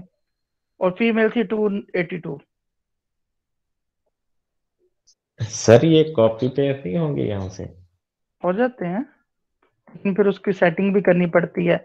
इसलिए मैं स्टूडेंट्स को कभी भी शॉर्टकट नहीं सिखाता कि वो पढ़ाई सेटिंग करनी पड़ती है फिर उसकी। इसलिए वो ये सिंपल सिंपल करें। थोड़े से यार टेबल होते हैं, आठ, दस, क्या कॉपी पेस्ट में लगे रहे। देखिए मीन है फिफ्टी एट पॉइंट एट इसके fifty eight point three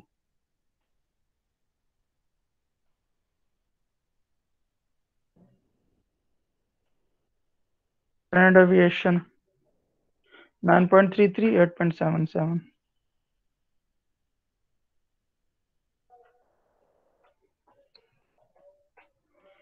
degree of freedom क्या होती है?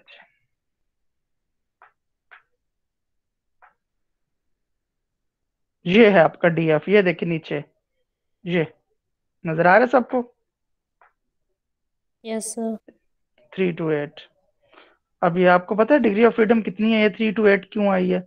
मेरे पास टोटल सैंपल था 330 और डिग्री ऑफ़ फ्रीडम का फार्मूला होता है। अगर आपके पास दो ग्रुप है ना तो एन माइनस टू टोटल में से दो माइनस कर दो, वो आपका डिग्री ऑफ़ फ्रीडम होता है। डिग्री ऑफ़ फ्रीडम बेसिकली क्या होता है क्या इधर the responses of the two are the most students might be neglected from original data इसलिए डीएफ को आप टोटल में से माइनस टू करोगे अगर दो ग्रुप हैं। चार ग्रुप हैं तो टोटल में से माइनस चार करोगे। वो ऑटोमेटिकली आपका सिस्टम दे देगा, आपको लिखने की ज़रूरत ही नहीं है। ये डायरेक्टली ऐसे आ जाएगा। अब आती है ये टी क्या है ये पी क्या है ये आप सब जरा कान खोल के पूरी कंसिडरेशन के साथ समझ लें। ये देखिए। डिग्री ऑफ़ फ्रीडम आपने कहाँ से उठाया? ऊपर वाली वैल्यू या नीचे वाली वैल्यू उठाई है?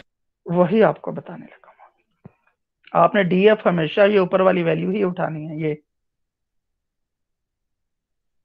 क्यों? क्योंकि जो टोटल सैंपल होता है यही तो मैंने बताया। टोटल सैंपल में से अगर आपके दो ग्रुप हैं तो टू माइनस कर दो। मेरे पास 330 का सैंपल था।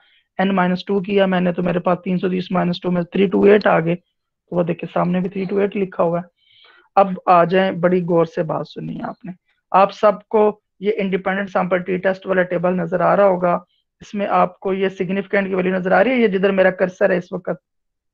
यस सर अगर ये वाली अगर ये वाली वैल्यू पॉइंट ज़ीरो फाइव से ग्रेटर हो दोबारा रिपीट कर रहा हूँ। अगर ये वाली significant value point zero five से ग्रेटर हो, तब ये आप टी भी ऊपर वाली लाइन का उठाएँगे और ये सिग्निफिकेंट टू टेल्ड भी ऊपर वाली लाइन का उठाएँगे। और ये सिग्निफिकेंट टू टेल्ड बेसिकली वो पी है, जो हमारे टेबल में यहाँ है। इधर पी कितना आएगा? फिर मेरा point seven one two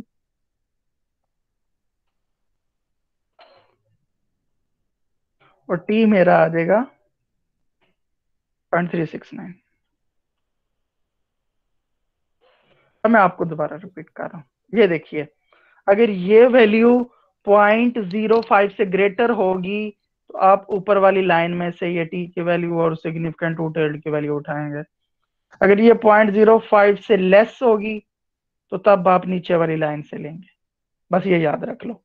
equal point zero five की या ग्रेटर होगी तो ऊपर वाली line less than point zero five होगी तो नीचे वाली लाइन ये इसका रूल होता है इसको टी की वैल्यू लिखने के लिए और पी की वैल्यू लिखने के लिए। इसके बाद ये देखेंगे जो सारी रिक्वायर्ड वैल्यूज़ थी मेरे पास आ गई। अब मैं चाहता हूँ इसको जरा एपीए में कन्वर्ट कर लूँ।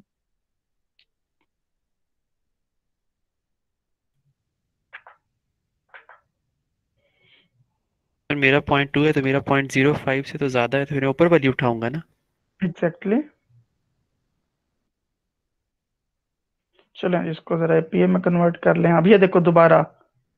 ये इनसाइड बॉर्डर्स पे जाना है आपने पहला पॉइंट इनसाइड बॉर्डर्स को क्लिक किया। अंदर से सारे उड़ गए। फिर दोबारा उसके गए तो ये लेफ़्ट बॉर्डर पे क्लिक किया। लेफ़्ट वाला भी चला गया। फिर आप राइट वाले बॉर्डर पे करेंगे राइट वाला भी चला गया। फिर एंड पे आपने ये जो ऊपर वाले को है ना सबको सिलेक्ट कर लिया ऊपर वाली लाइन को और ये बॉटम बॉर्डर लगा दिया। ये एपीए का टेबल होता है आपका। सर, ये पी वैल्यू क्या होती है?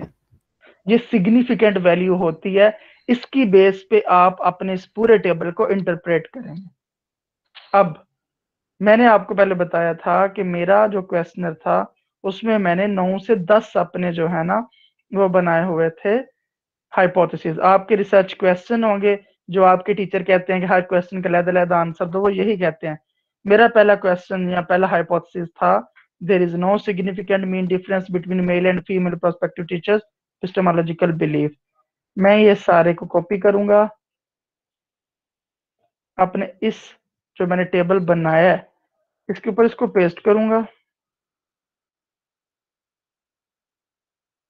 और इसको अटैलिक कर दूँगा। अटैलिक करने के बाद मैं लिखूँगा इधर सिग्निफिकेंट का एस बड़ा। पहला पहला लेटर कैपिटल कर देना आपने।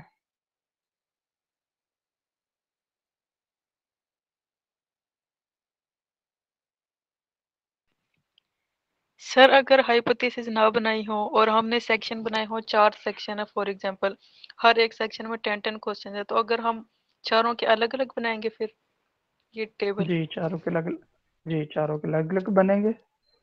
तो हम टेबल के अंदर जो नेम होगा वो हम सेक्शन नेम देंगे कि इस सेक्शन का ये है इस सेक्शन का ये। है एग्जैक्टली एग्जैक्टली ये देखेंगे इस तरह आपका जो क्वेश्चन होगा या जो ऊपर सेक्शन होगा या आपका हाइपोथेसिस होगा क्वेश्चन होगा कोई भी होगा तो आपने इधर ऊपर पेस्ट करना है अटैलिक कर दिया आपने नीचे आपका टेबल आ गया। Now you are going to interpret this table आपने पी वैल्यू कहाँ से उठाई है? पी वैल्यू टेबल से। ये पी वैल्यू मैंने बताया कि अगर ये वाली सिग्निफिकेंट वैल्यू पॉइंट फाइव से ग्रेटर होगी ज़ीरो फाइव से। तो ये सिग्निफिकेंट टू टेल्ड ये नज़र आ रही है आपको? जी सर ये पी वैल्यू होती है बेसिकली अच्छा जी अब फाइनली सर एक मिनट अगर हमारे हमने ना तो वो हाइपोथेसिस बनाए हैं और ना ही हमने सेक्शंस बनाए हों तो फिर हम तो क्या क्वेश्चंस तो क्वेश्चंस तो बनाए होंगे ना आपने। तो हर क्वेश्चन का इस तरह टेबल बनेगा। हाँ जी हर क्वेश्चन का। आप क्वेश्चंस का टोटल ले लेना और सारे क्वेश्चंस को एक नाम दे दें तो फिर उसका निकल आएगा।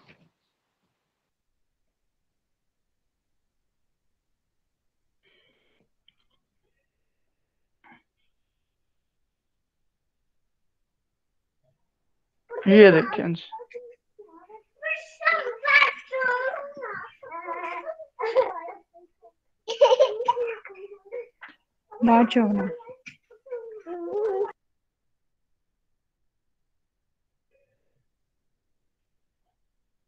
अच्छा इसके ऊपर हम बात कर रहे थे अपनी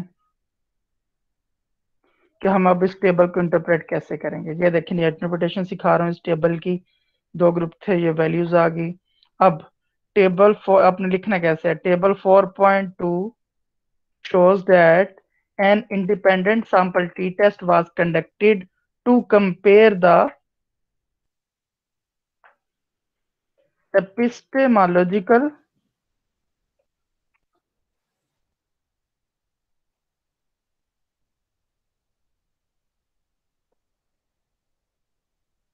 epistemological beliefs of prospective teachers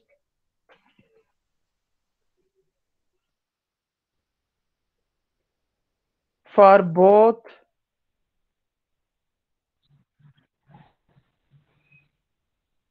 groups यानी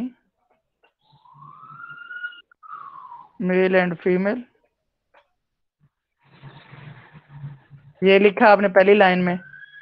अब, अगर तो ये देखिए, अगर ये वाली वैल्यू ये स्पी की वैल्यू अब पॉइंट ज़ीरो फाइव से लेस आ जाती है, या पॉइंट ज़ीरो फाइव के इक्वल आ जाती है, तब आप लिखते हैं देर वाज अ डिफरेंस अगर इसकी वैल्यू पॉइंट ज़ीरो फाइव से ग्रेटर आ जाती है तो देर वाज नो डिफरेंस ये आपने बताना होता है कि उनके मीन स्कोर्स में डिफरेंस नहीं है।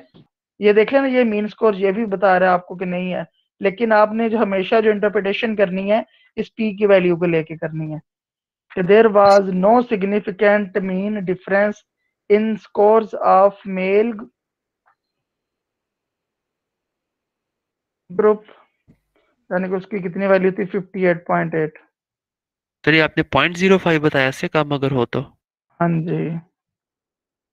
स्टैंड एविएशन है 9.33 सर तो जो लिखा होता है पॉइंट ट्रिपल ज़ीरो उसका क्या मतलब है? यानी कि पॉइंट ट्रिपल ज़ीरो का मतलब है कि सिग्निफिकेंट हाईली सिग्निफिकेंट है पॉइंट ज़ीरो फाइव से लेस है आपका। There is was a difference उसका मतलब ये है। एंड फीमेल अब देखो, मैंने मेल की जो परसेंटेज थी, वो लिख दिया मैं। फीमेल की जो मीन आ रहा है, वो लिख रहा हूँ। स्टैंडर्ड डेविएशन होगी 8.77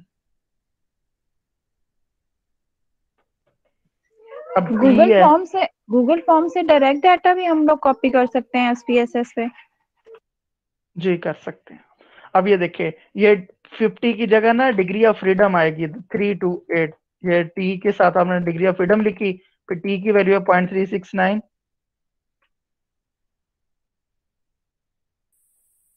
T की वैल्यू आपको पता है आपके पास पॉइंट सेवन वन टू ये आपने लिख लिखिया लिखने के बाद, ये काट देता हूँ, ये आपसे बहुत आगे की बात है। चले। It was concluded from table that there existed no difference between male and female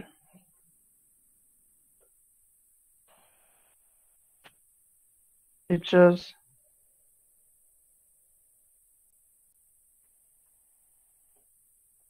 epistemological beliefs. ये लिखने के बाद नीचे hence the null hypothesis therefore was accepted जिसने नल हाइपोथेसिस बनाए हैं, और जिसने क्वेश्चंस बनाए हैं, उसको ये लाइन लिखने की ज़रूरत नहीं। वो यहाँ तक ही लिख के अपना काम चला सकता है, यहाँ तक। ले जी, ये वो इंटरप्रिटेशन है जो आज तक हमें बच्चों को हम बोलते हैं और वो लिखते नहीं है या कुछ लिखते भी हैं मेहनत करके कुछ काम कर लेते हैं कुछ नहीं करते लेकिन ये आपको sorry. These value of T and P, these are for both male and uh, female. Exactly ये हम ना एक्चुअल वैल्यूज़ लेते हैं जो okay, मैंने sir. आपको बताया ना पीछे ये एक yes, ही वैल्यू लेते हैं आप यस Yes, sir. सर एक क्वेश्चन है कि अगर जो आपका जो आइटम्स है अगर किसी आइटम का हमने टेबल बनाना है उस पे हमें कैसे पता चलेगा कौन सा टेस्ट लगाना है? उस पे वो तो एक सिंगल आइटम है। सिंगल आइटम पे टेस्ट क्या है कौन सा लगा सकते हैं आप? वो आपको मैं अभी फ्रीक्वेंसी निकालना सिखा देता हूँ उसकी जस्ट फ्रीक्वेंसी निकालनी है आपने। चलें जी फ्रीक्वेंसी अब सीखते हैं। ये मैंने आपको टी टेस्ट सिखा दिया एक नोवा मुझे सिखा लेने दीजिए एक मुझे रिलेशनशिप का टेस्ट सिखा लेने दीजिए फिर उसके बाद बस आपको फिर मैं फ्रीक्वेंसी सिखाऊँगा। की जो मैम ने मीन मेंशन किया होगा वो भी बता दें जरा। क्या? मैम ने मीन भी मेंशन किया होगा था स्टैंडर्ड डेविएशन मीन ये देखिए ना ये मीन आपने कर दिया। अगर आप स्टैंडर्ड डेविएशन की वैल्यू ऐड करना चाह रहे हैं वो भी मैंने कर दी है ये देखिए सब कुछ लिखा हुआ है। Okay thank you sir thank you सारी चीज़ें हैं इधर। अच्छा जी अब इनोवा की तरफ़ चलते हैं। नींद तो नहीं आ रही। सर बहुत ज्यादा हम तो आठ बजे सोने वाले लोग हैं No, sir. In fact, uh, it's it's very nice of you that you are spending too much time to teach us. I'm so Exactly. grateful. My colleagues were saying me कि why you are wasting your too much time uh, on students who are going to pass this semester soon and will never see you again. So I said to them, uh, it's actually a sadka jariya. If you have a more knowledge and something you want to increase in you, then that you have to spend on others. Sir, मैंने in कहा, fact, I "चलें, will say that you are a lifesaver. What you have done for us, in fact, nobody did it for us. And I think that we all should be very grateful to you. And I am so very grateful to you because you you are such a lifesaver for me. I was These also things were really thinking. difficult. not a We wasting agree, of our sir. time. Sure, sure, Completely sure. agree. Thank so you. much, sir. Thank sir you for उनके और all of you. आपके attitude में आज के इस lecture से फर्क पड़ गया है अच्छा जी Yeah, sir, चलें। your lecture is very interesting. चलें अब हम इनोवा सीखते हैं। wish all supervisor do this, sir. Definitely अल्लाह करे सबको हदायत है।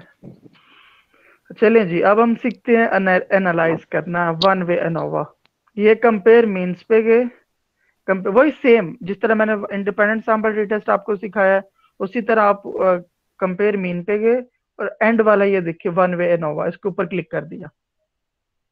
फिर अगेन आपने राइट क्लिक किया डिस्प्ले वेरिएबल नेम्स उसके बाद दोबारा से वही जो आपने कंप्यूट किया हुआ है पता चल रहा है ना वो मैंने कंप्यूट क्यों किया था?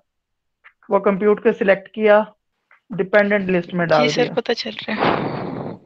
डिपेंडेंट लिस्ट में डाल दिया और उसके बाद मैंने बताया था अगर जिसकी कैटेगरीज दो से ज़्यादा है वहाँ पे आप लगाएँगे इनोवा तो मेरे पास डिपार्टमेंट की कैटेगरीज भी ज़्यादा थी सेमेस्टर की कैटेगरीज भी ज़्यादा थी मीन के इन दोनों के ऊपर इम्प्लीमेंट होगा।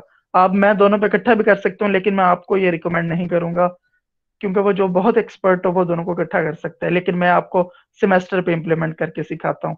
ये मैंने फैक्टर वाली जगह पे इसको डाल देना सेमेस्टर को। आगे देखिए नहीं।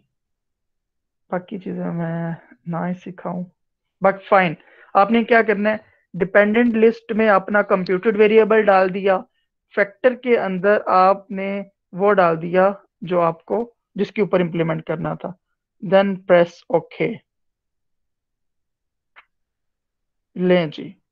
ये हमारे पास वन वे अनोवा के रिजल्ट्स आ गए।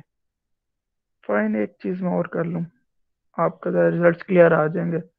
Analyze compare mean one way ANOVA ये करने के बाद पोस्ट हॉक पे भी चले जाएँ। पोस्ट हॉक में ये एक टकी टेस्ट है। टकी।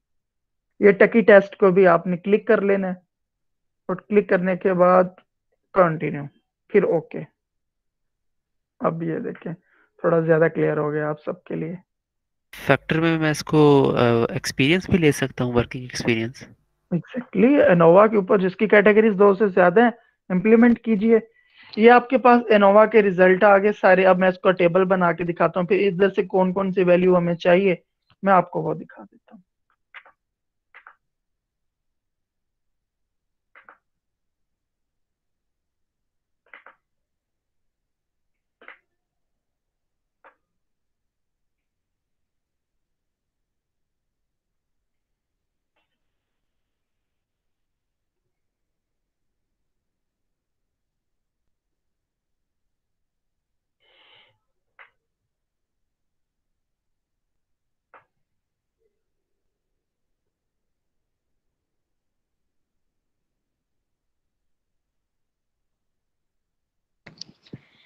सर, मैंने जो असाइनमेंट बनाई थी डेटा एनालिसिस की, वो मैंने मैम को चेक करवाई थी तो उन्होंने कहा था ओके है सबमिट करवा दें। तो अब मुझे फील हो रहा है कि उसमें काफ़ी सारी चेंजेस करनी पड़ेंगी, और मैंने सबमिट करवा दिया तो कैन आई अपडेट इट बच्चे, ये तो अपने सुपरवाइजर से बात कीजिए ना, ये वो ही कर सकते हैं, और वो कर देंगे अगर आपको लो करें। मैं तो जस्ट आपको जो काम कैसे होना चाहिए, आज वो सिखा रहा हूँ। हो जाएगी क्योंकि लास्ट सर तक आप अगर सबसे रिक्वेस्ट कर दें कि एक हफ़्ते के लिए असाइनमेंट की डेट एक्सटेंड कर दें ताकि अब जितना हमने सीखा है वो हम अप्लाई तो कर पाए टाइम तो मिले हमें कम अज कम। ये एक्सटेंड नहीं होती डेट्स ये काफ़ी स्टूडेंट्स कहते हैं कि ये टीचर्स के हाथ में होता है। लेकिन रियली एंड वेरी हॉनेस्टली ये डेट्स डिसाइडेड होती हैं फ्रॉम हायर अथॉरिटीज और वो सबसे पहले यही डिसाइड करते हैं कि कौन सी डेट को क्या जाना है। तो इसलिए हम नहीं कर सकते होते। सर लेकिन ये भी तो देखना चाहिए कि सर अभी तक लोगों के है ही नहीं हुआ। मेल करते हैं रिक्वेस्ट करते हैं उनको। चलो ये आप कीजिए लेकिन आई थिंक सो मुश्किल है। आई अच्छा सर आपने काफ़ी कुछ कॉपी कर लिया आपने। आपने क्या क्या कुछ कॉपी कर लिया सर? अभी आपको सिखा रहा हूँ अभी आप आपके लिए कुछ भी नहीं है। एक चीज़ मैं ढूंढ रहा था ताकि आपके लिए वो बहुत अच्छी चीज़ हो जाए।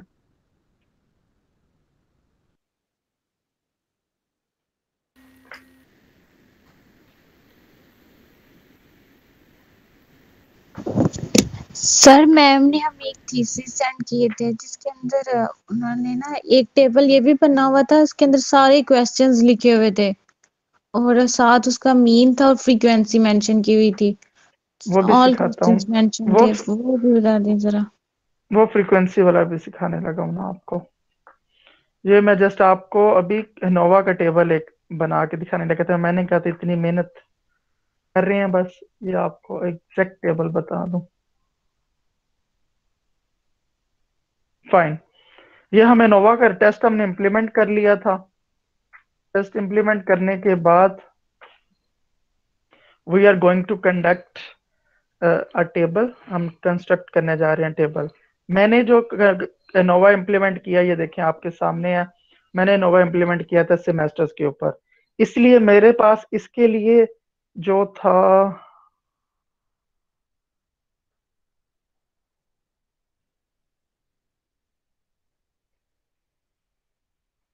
क्वेश्चनर वो ये था क्वेश्चन या हाइपोथेसिस आप बोल रहे हैं.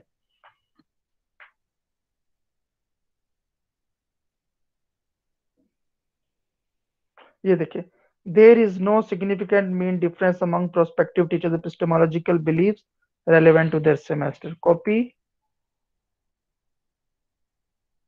here I will post अब मैं इसको टैलिक वगैरह नहीं कर रहा क्योंकि टाइम बच्चों का जो है ना, वो जाएगा ज़्यादा। इसलिए जस्ट आपको मैंने सिखाना ही था कि इसको आप अटैलिक कर सकते हैं। फ़र्स्ट वर्ड आपने ज़्यादा रखना है। अब कौन कौन सा डेटा आपने उठा के इधर डालना है? इधर आप लिखेंगे सेमेस्टर अच्छा सर, मेरा तो डिफरेंस आ रहा है मेरी क्योंकि वो less than point zero five है ना तो। ओके फाइन कोई मसला नहीं। इधर आपने सम ऑफ़ स्केयर्स लिखा, ये डिग्री ऑफ़ फ्रीडम है, ये मीन स्केयर ये एफ़ की वैल्यू ये सिग्निफिकेंट कैसे लिखनी है, अभी ये मैं आपको बताता हूँ। ये देखिए, ये अनोवा अप्लाई हुआ हुआ था, ये बिटवीन ग्रुप्स की वैल्यू है, ये विद इन ग्रुप्स की वैल्यू है, ये टोटल की वैल्यू है। तो ये देखिए सम ऑफ़ स्केयर के नीचे आपने ये लिखनी है three eight three point zero इधर three eight three point zero within group में देखें आप।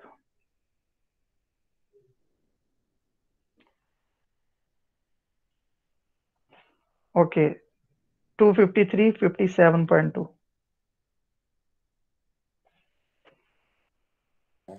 सारा अब सारा टेबल यहीं पे पेस्ट करके तो वैल्यूज़ को कॉपी कर लें अगर। कोई कोई बात नहीं बस हो गया अब तो। Two fifty seven forty point two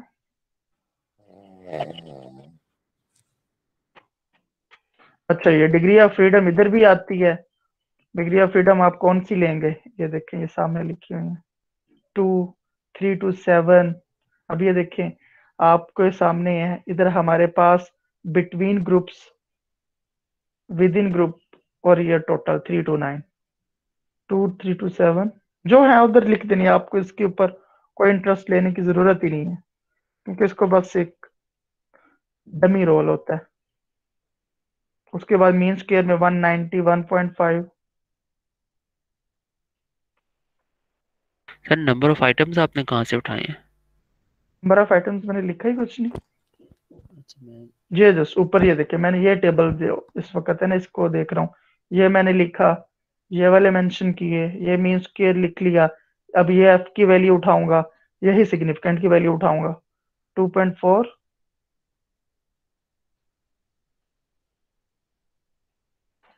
मैं जस्ट आपको बता रहा हूँ कि आपने कैसे करना 2.4 के बाद आएगा आपके पास 0.86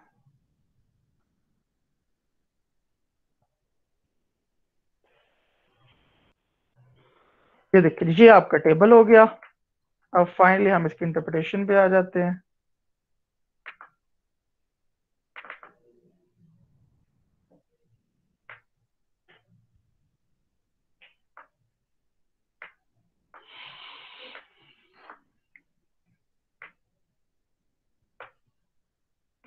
बड़ा आसान है इसका ना।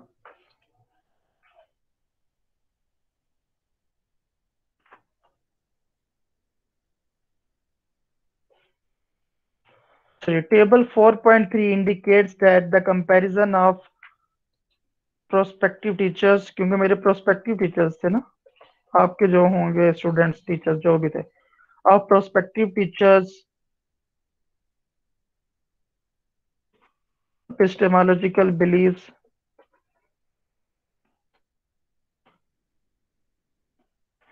indicates the comparison of prospective teachers epistemological beliefs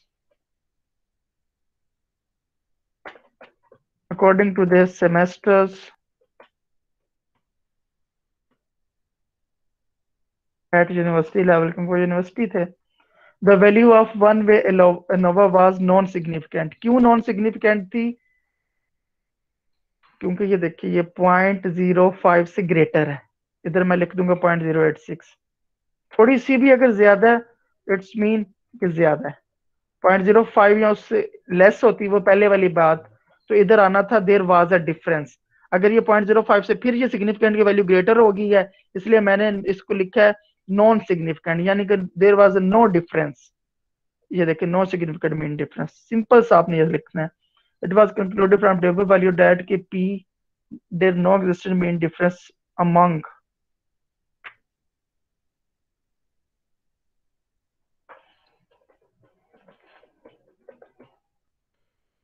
teachers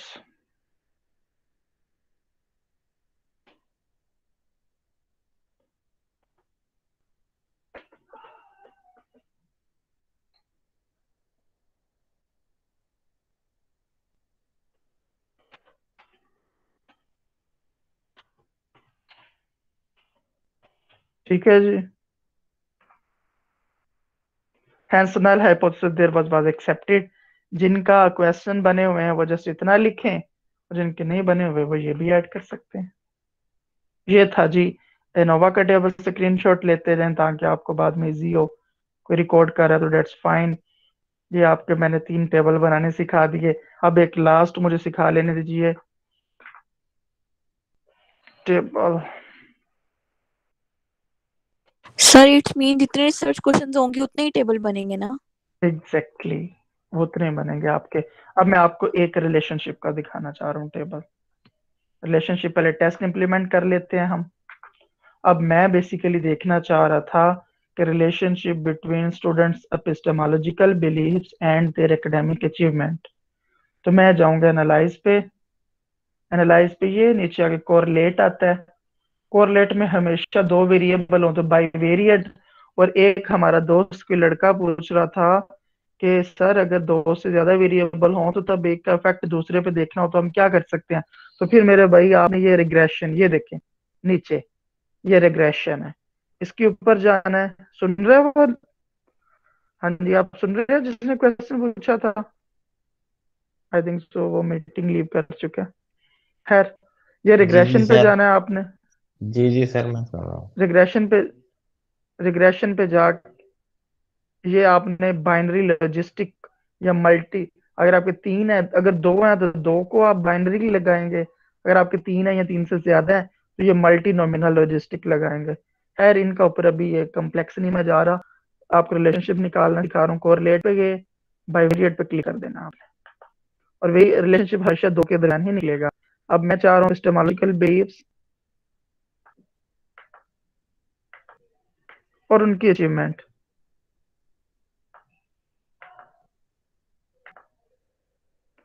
इन दोनों के दरमियान ये अब ये देखिए ये पियर्सन आर आ गया। पियर्सन आर लगाना इसको आपने क्लिक कर दिया और फिर ओके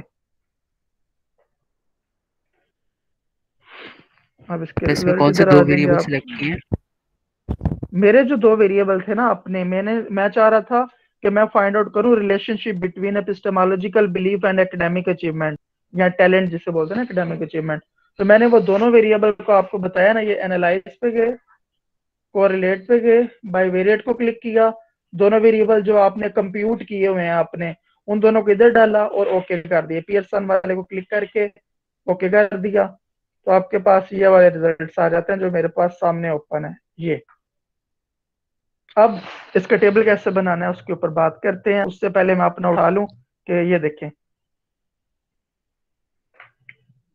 ये था मेरा question hypothesis there is no significant relationship between epistemological belief and academic achievement इसको कॉपी किया। डाल दिया। अच्छा सर मेरा कोई इस तरह से एक कोई वेरिएबल नहीं है मतलब ढेर सारे वेरिएबल्स हैं मेरे मैडम ने बताया था आप रिलेशनशिप की स्टडी है आपकी मतलब रिलेशनशिप आप चेक कर रहे हो सब वेरिएबल्स के बीच में। तो मेरा क्या होगा मैं किसको उठाऊं जितने वेरिएबल्स हम सबको कंप्यूट कर ले पे ये वाला टेस्ट रन कर दें। जो जितने वेरिएबल्स है ना आपके डिफरेंट इसमें सर एक तो मैंने टोटल वाला उठा लिया ना जो आपने करवाया था और सेकंड में कौन सा उठाऊं हाँ। अब उनका जो सेक्शन आगे एक लड़की बात कर रही थी सेक्शन बनाने वाली। तो आप वो सेक्शन बना लेना। वो सेक्शन बन जाएँगे जब आपके तो आप इजीली कर सकेंगे। आपके जितने भी क्वेश्चन है ना तो उनके एक दो सेक्शंस बना लें। एक सेक्शन में वो क्वेश्चन रख लें जिसपे पॉजिटिव रिस्पॉन्स ज़्यादा आ रहा है दूसरे में वो रख लें जिसमें नेगेटिव आ रहा है फिर उन दोनों को आपस में निकाल। सर हर सेक्शन को कंप्यूट करना पड़ेगा हमें। हाँ जी बिल्कुल। ये लें जी। ये आपका कोरिलेशन का टेबल आ गया। लेकिन इसके अंदर एक काम करना है आपने। एक कुछ भी नहीं आना।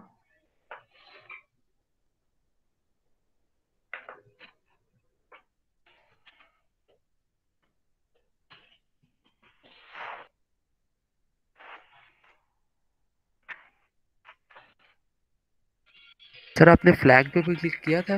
ये फ्लैग पता नहीं क्या सिग्निफिकेंट कोरिलेशंस पे। एक मिनट अभी करते हैं। ये लें जी आपका रिलेशनशिप का टेबल आएगा जस्ट इतना। अब ये मैं आपको बताऊँ ये आपने वैल्यू कहाँ से उठानी है? सर पे।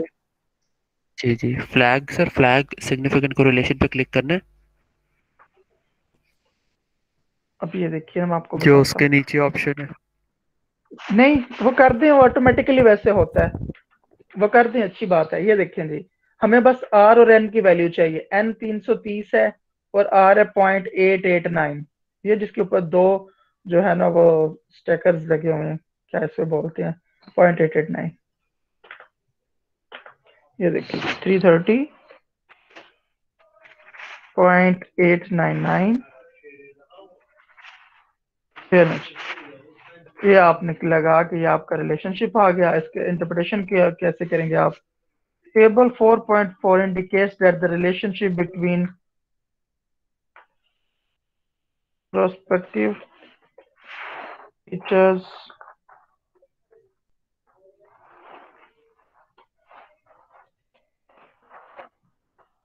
epistemological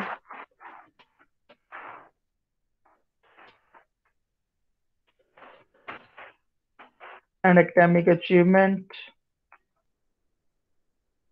at university level, it was evident from table value of Pearson R, whose value is 0.899. There exists a positive. अब देखो रिलेशनशिप जो है ना उसकी वैल्यू पॉजिटिव भी हो सकती है नेगेटिव भी हो सकती है इसलिए परेशान नहीं होना इसकी वैल्यू आर की वेरी करती है माइनस वन से लेके पॉजिटिव वन तक अगर किसी की वैल्यू पॉजिटिव आएगी पॉजिटिव फाइव से ऊपर जितनी होती है, उसको बोलते हैं एवरेज रिलेशनशिप सेवन से एट को बोलते हैं गुड रिलेशनशिप और एट से जो है ना वन तक बोलते हैं एक्सीलेंट रिलेशनशिप तो अगर माइनस में आ जाए तो आप क्या लिखेंगे? अब ये देखो ना वैल्यू पॉजिटिव है, इसलिए मैंने क्या लिखा there is is a positive relationship अगर नेगेटिव आ रहा तो मैंने जस्ट ये लिखना there is a negative strong relationship between prospective teachers, epistemological beliefs, and academic achievements. और सर ये एन और आर की वैल्यू आपने उठाई कहाँ से? है टेबल से? जी मैं बताता हूँ। ये देखें ये इसकी टोटल होगी। ये देखें ये मैंने टेस्ट अप्लाई किया ये देखें ये वैल्यू नज़र आ रही है आपको? पियर्सन कोरिलेशन पियर्सन कोरिलेशन ये हाँ। पॉइंट एट एट नाइन और ये एन मैंने उठाया। ये दोनों की एक ही टेबल में वैल्यू आती है।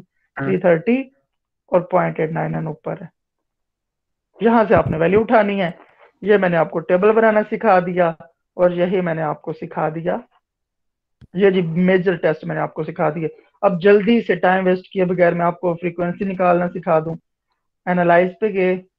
ये डिस्क्रिप्टिव स्टेटिस्टिक्स और उसके बाद आए आप ये फ्रीक्वेंसीज के ऊपर। करने के बाद अपनी जितनी जो है ना आपकी वेरिएबल है ना, वेरिएबल आपका दो है, तीन है, जितने भी हैं। मेरे पास टोटल एपिस्टेमोलॉजिकल बिलीफ था उसको इधर फेंका। इधर से आपने इसको करना है। इधर से मीन मीडियन बस यही काफ़ी है। ओके और ओके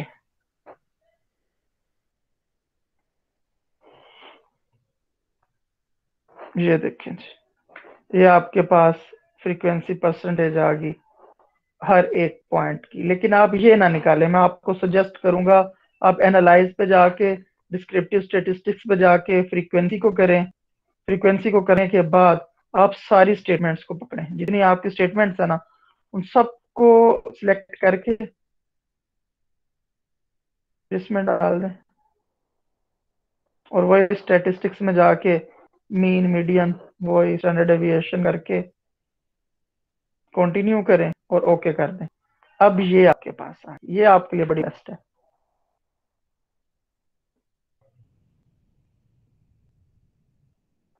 ये देखिए ये आपकी पहली स्टेटमेंट उसके ऊपर जितने आपका डाटा था, जितने भी स्टूडेंट्स है टोटल 330 में ये स्टेटमेंट अटेम्प्ट की होगी ना तो 330 में से जो है ना वो स्ट्रॉन्गली अग्री को कितनों ने किया है डिसअग्री को कितनों ने किया है अग्री को कितनों ने किया वो सबकी परसेंटेज ये देखे फ्रीक्वेंसी ये आ जाएगी। सर अब सर ये क्वेश्चन पॉइंट ऑफ़ व्यू से आ रही है ना हर एक क्वेश्चन की सेपरेटली आ जाएगी इस तरह जो सर्वे क्वेश्चन है हमने करनी ही ऐसे है। हर स्टेटमेंट के लिए आएगी सर ये तो बहुत ज़्यादा बन जाएगा। हाँ जी यही तो मसला है ये इसमें तो हमें रात को जागना पड़ता है इसके लिए और इसका आपको कैसे बनाना पड़ता है टेबल ये मैं आपको दिखा दूँ। किधर के और टेबल भाई? सर इसमें आपने वेरिएबल दो लिए थे एक तो आपने टोटल वाला लिया था एक कोई भी एक उठा लिया था। नहीं नहीं नहीं मैंने इसमें अपने अगर मेरे पास एक ही क्वेश्चनर है तो मैंने उसी क्वेश्चनर की लेट्स सपोज़ थर्टी स्टेटमेंट थी मैंने वो तीस स्टेटमेंट्स डाली हैं टोटल नहीं डाला। अगर मेरे पास दो क्वेश्चनर होंगे तो मैं पहले एक की तीस या बीस जितनी होंगी, वो डालूँगा और इस तरह एक टेबल बनाऊँगा। फिर अगर मेरे पास दूसरा तो उसको फिर अलहदा से मैं करूँगा। चलें जी। एक तो ये है डिस्क्रिप्टिव स्टेटिस्टिक्स में आपको टीचर ने बोला मीन और स्टैंडर्ड डेविएशन निकालें। तो वही आप निकाल सकते हैं, ये देखिए। स्टेटमेंट्स लिखी उसके आगे एन लिखा मीन लिखा स्टैंडर्ड डेविएशन लिखा और जो जो आपकी ये वैल्यूज़ देखिए हर स्टेटमेंट की लेना ये मीन परसेंटेज सर इसको इंटरप्रेट भी करना है इन सारी स्टेटमेंट्स सीक्वेंस यही इससे ऊपर मैंने आपको मीन वगैरह निकाल के दिखाया था।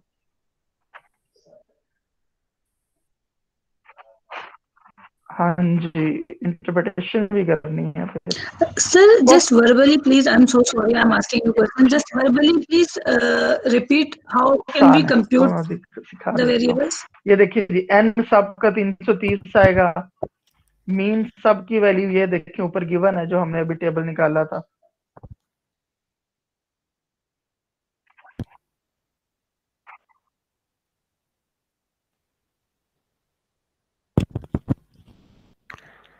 सर वेरिएबल्स की समझ चाहिए एक तो आपने टोटल वाला डाला दूसरा आपने कौन सा डाला है variables by going to transform then click on trans compute variable then uh,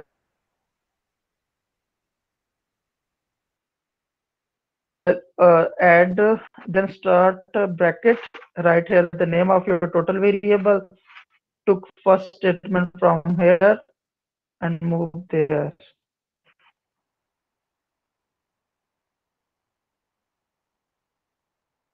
then add plus फिर सेकंड मैंने टोटल नहीं डाला मेरे भाई।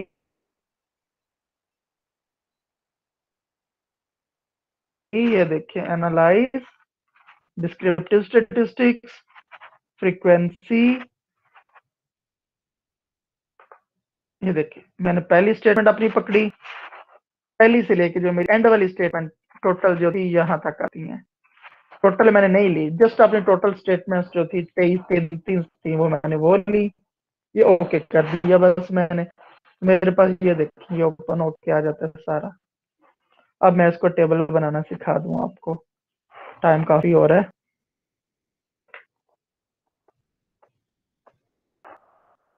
क्वांटिटी का टेबल लिखें फिर आपने सीधे नंबर बनाए अपने एग्री और स्ट्रांगली एग्री वो लिखना है।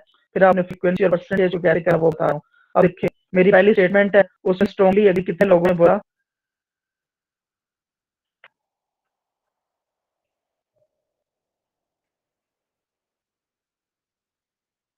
स्ट्रांगली एग्री नौ लोगों ने बोला है डिसएग्री दस लोगों ने बोला है न्यूट्रल छब्बीस लोगों ने बोला है वन फिफ्टी एट लोगों ने अग्री का है और वन ट्वेंटी सेवन लोगों ने स्ट्रांगली अग्री कहा है। तो ये जितनी भी हैं वो मैं इनको डालूँगा इधर, इसी तरह। किसी ने दस बोला, किसी ने कितना बोला, किसी ने कितना वो डाल दूँगा। फिर उसकी परसेंटेज मैं कैसे लूँगा? आप तो डायरेक्टली यहाँ से भी परसेंटेज उठा सकते हैं। ये टू पॉइंट सेवन परसेंट है, ये थ्री है, ये फोर्टी सेवन परसेंट है, ये थर्टी एट परसेंट है। ये थी ना फ्रीक्वेंसी के बिल्कुल साथ ही परसेंटेज है। आपने वो परसेंटेज उसके साथ ऐड कर दे। ये तो बड़ा आसान है। ये देखें जी। आपने साथ ही उनकी परसेंटेज भी ऐड कर दी। इसी तरह आपके जितनी स्टेटमेंट होंगी सबकी फ्रीक्वेंसी और परसेंटेज आपने लिखते जाना है। लिखने के बाद अब इसको इंटरप्रिटेशन कैसे करनी है वो देख लें। ऐस, ऐसे आपने लिखा पहली स्टेटमेंट उसकी इंटरप्रिटेशन क्या होगी? अब आपने जो स्ट्रोंगली अग्री और जो अग्री है उन दोनों की परसेंटेज को ऐड कर लेना है।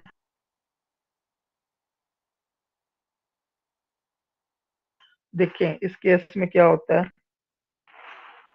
जब मैं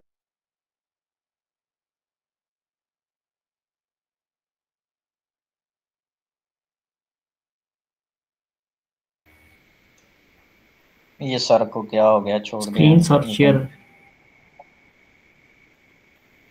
sir sir का नेट चला गया लगता है। यस यार इत्शाम आपने ये, ये सेव कर रहे हैं? जी जी मैं कर रहा हूँ रिकॉर्ड कर रहा हूँ मैं। होप सो के ये लाइफ का सबसे लॉन्गेस्ट लेक्चर है। इतना तो हाँ। ऐसे ही है मैं भी रिकॉर्ड कर रहा हूँ ये भी मेरे पास तो ये चार जीबी से भी ऊपर हो चुका है आपके पास पता नहीं क्या है। एक्सक्यूज मी अच्छा इत्शाम ये वीडियो को किसी यहाँ तक स्टॉप करके दोबारा से उसको रिज्यूम कर ले दोबारा से स्टार्ट कर लीजिए ताकि इतना साइज़ ना हो एक फ़ाइल का। हाँ। मुझे कुछ पूछना था जी जी पूछे हेलो। ये जो हम लोग ले रहे हैं परसेंटेज हर स्टेटमेंट की ये जो हम लोग ने फॉर्म बनाया था उधर भी तो हो रही है ना शो अगर उधर से ले ली जाए तो। वीडियो की बात कर रही हैं आप। ये जो स्टेटमेंट फॉर्म की बात कर हाँ। जी उधर हाँ जी गूगल फॉर्म पे भी वो साथ बन रहे थे ना ग्राफ्स जी जी बिल्कुल वहाँ पे बने थे लेकिन लेकिन वो तो बहुत सिंपल थे। ये तो सर जिस तरीके से बनवा रहे हैं ये तो पूरा एक वो रिसर्च जिस तरह से होती है। वहाँ पे ना हर क्वेश्चन का नहीं लिखा हुआ था सेपरेटली ऐसा फील हो रहा है ओवरऑल करके बात बता रहे रहे सर आ चुके हैं। ऐसा लग रहा है हम कोई अनोखा बीएड कर रहे हैं। जैसा कभी नहीं सुना था। असल में ये चीज़ें वो हैं जो हमें स्टार्ट में बतानी चाहिए वीडियो वालों को। अभी बता रहे हैं सारा कुछ। बीएड स्टार्ट ही जैसे अभी हुआ है। चलो शुक्र है आप भी बता तो रहे हैं ना। नहीं तो अब बताने से अब तीन दो तीन दिन बाद हमें सबमिट करनी है असाइनमेंट तो हम कैसे करेंगे असाइनमेंट ये इतना आसान सॉफ्टवेयर नहीं है ये तो आईटी से रिलेटेड है मुझे जो समझ आ रही है। जो इन्हें कंप्यूटर के सब्जेक्ट में हमें स्टोरी स्टोरियाँ सुनाते रहे हैं ये। बजाय ये पढ़ाने के रिसर्च प्रोजेक्ट में क्या पढ़ाते रहे हमें तो ये छह महीने के लिए हमें ये देना चाहिए था इसको पढ़ाने के लिए और इस रिसर्च को करने के लिए। नो यूजिंग दिस सॉफ्टवेयर ये stat no using this software how to use this is basically related to I T it is in statistical software I know that but actually use how to use it it's computer software तो all things related to I T yes bro you are right नहीं नहीं ये जो ICT ICT वाले हमारे teacher थे वो तो बताते होते थे कि मैं मुल्तान में क्लास में था। उनके तो लेक्चर ही माशाल्लाह बड़े फनी थे जो फ़र्स्ट सेमेस्टर में हमने आईसीटी पढ़ी है। that's what I said. बहुत इंटरेस्टिंग लेक्चर्स थे बस बस बस okay fine your discussion should be over now मैं आप सबको एक चीज़ बताना चाहता हूँ। मैंने भी इसी सिस्टम से पढ़ा।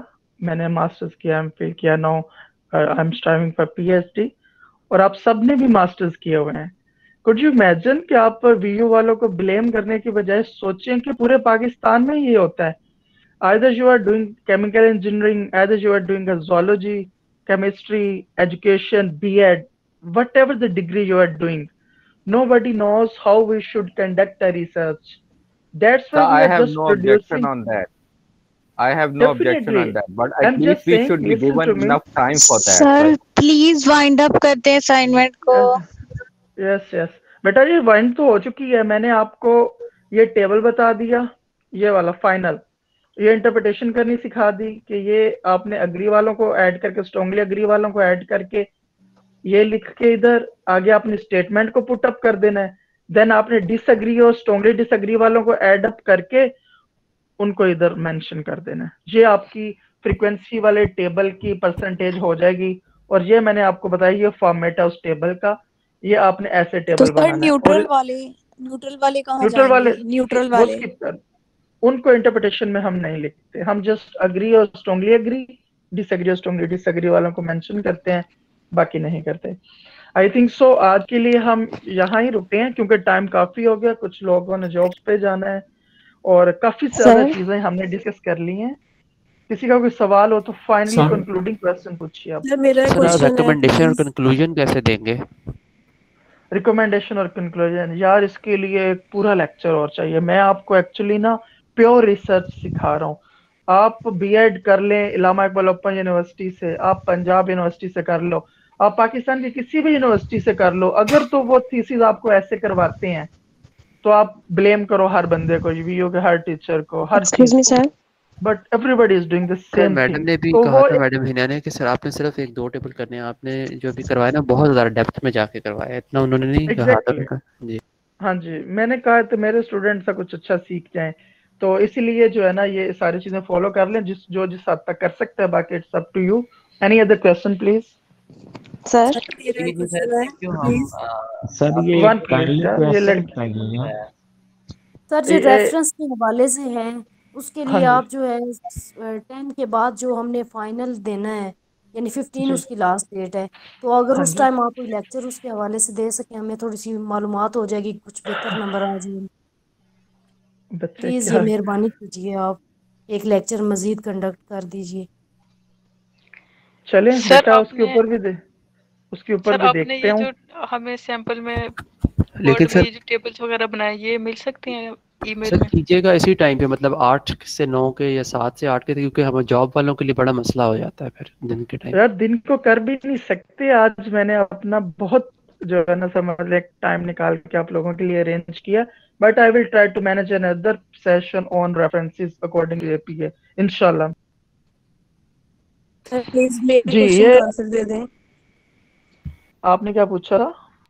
सर मैं मैंने ये पूछना चाह रही हूँ अपनी रिसर्च के बारे में कि मैं कौन से टेस्ट यूज़ करूँ ना उस लिहाज से मुझे कंफ्यूजन है क्योंकि मेरी सुपरवाइजर भी रिस्पॉन्स नहीं कर रही।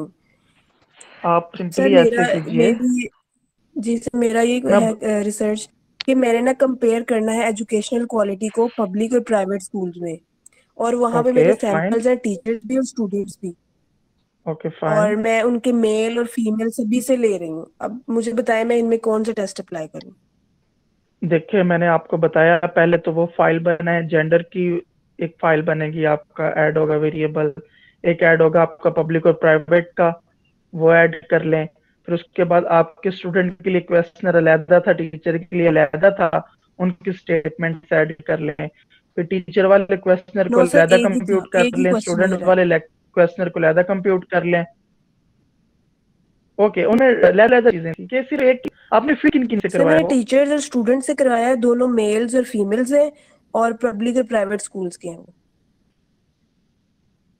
तो मुझे समझ आ गई लेकिन how you can conduct data from same questionnaire on on same question from two different groups sir वो इस तरह की जनरल इंफॉर्मेशन दी है कि स्टूडेंट्स भी उसके बारे में बता सकते हैं और टीचर्स भी बता सकते हैं। बेटा ऐसे तो नहीं होता। स्टूडेंट्स के लिए हमेशा एक अलहदा पॉइंट ऑफ़ व्यू से आप सवाल पूछते हैं टीचर्स से आप अलहदा पूछते हैं अब आप ऐसे कीजिए, आपको करना क्या होगा? स्टूडेंट्स के जो डेटा है ना, उनको अलहदा नंबरिंग दीजिए, जो सौ है या पचास हैं। टीचर हैं जो आपके पचास हैं या सौ हैं, उनको अलहदा नंबरिंग दीजिए। वही सेम स्टेटमेंट्स टीचर वाले की अलहदा डालें और कंप्यूट कर लें। वही स्टेटमेंट्स आप दोबारा डाल के स्टूडेंट के लिए उनको कंप्यूट कर लें। यानी कि एक में वही स्टेटमेंट होंगे, लेकिन टीचर का डेटा होगा। सेकंड में भी वही चीज़ होगी लेकिन वो स्टूडेंट का डेटा होगा। दोनों को कंप्यूट कर लें। अब आप जेंडर के ऊपर अप्लाई करना चाह रहे हैं तो आप क्या करेंगी? वो जो कंप्यूट वेरिएबल आता है ना ये देखें। मेरी स्क्रीन शो हो रही है ना आपको? जी सर ये एनालाइज में जाएँगी आप कंपेयर मीन्स के अंदर जाएँगी इंडिपेंडेंट सैंपल टी टेस्ट करेंगी। और इधर आपके स्टूडेंट और टीचर वाले दो क्वेश्चनर होंगे ना अभी तो आपके पास। जी। अब ये दो वेरिएबल को इकट्ठा सेलेक्ट करेंगी। ये टेस्ट वेरिएबल्स के अंदर डाल के, फिर उसके बाद आपने जाना है, ये जेंडर को क्लिक करेंगी, इसको ग्रुपिंग वेरिएबल में डाल दिया। ग्रुप वन के लिए वन ग्रुप टू के लिए टू फिर कंटिन्यू और ये कर देंगे ओके ये आपका टेस्ट इंप्लीमेंट हो जाएगा, ये देखिए। अब आपके दो टेबल बनेंगे डिफरेंट टेबल बनाएँगे आप। आप पहले के लिए लिखेंगे, पहला क्वेश्चनर फॉर टीचर मेल और फीमेल के लिए ये सारा डेटा और उसके लिए ये देखिए ना ये ये टीचर के लिए लेट्स सपोज़ आपका ये ऊपर वाला टेबल आ जाएगा और यहाँ से आप टी की वैल्यू ऊपर वाले टेबल से ही उनकी ले लेंगी। स्टूडेंट है लाइक उनके लिए मेल और फीमेल जो आ रहे हैं वो नीचे वाला टेबल ये यूज़ कर लेंगी और टी की वैल्यू और सिग्निफिकेंस की वैल्यू आप इस नीचे वाले टेबल से ले लेंगे। ये काम हो जाएगा आपका ऐसे। इस तरह आप कर सकते हैं। सर यहाँ पे जो आपने वो वेरिएबल लिया था मैं उसमें क्या लूँगी अपना? आपके दो वेरिएबल होंगे ना। Total teacher total students responses ये लिख लें उनको कंप्यूट करके जो आएगा ना तो वो दो वेरिएबल आप डालेंगे। ओके। सर काइंडली वो जो लास्ट में हमने बनाया था 4.4 का टेबल उसके सर स्क्रीनशॉट मैंने लेना था जी। सर एक दफ़ा शो कर ये लो जनाब वकास अस्सलाम लो जनाब। एक्सक्यूज मी सर हाँ जी।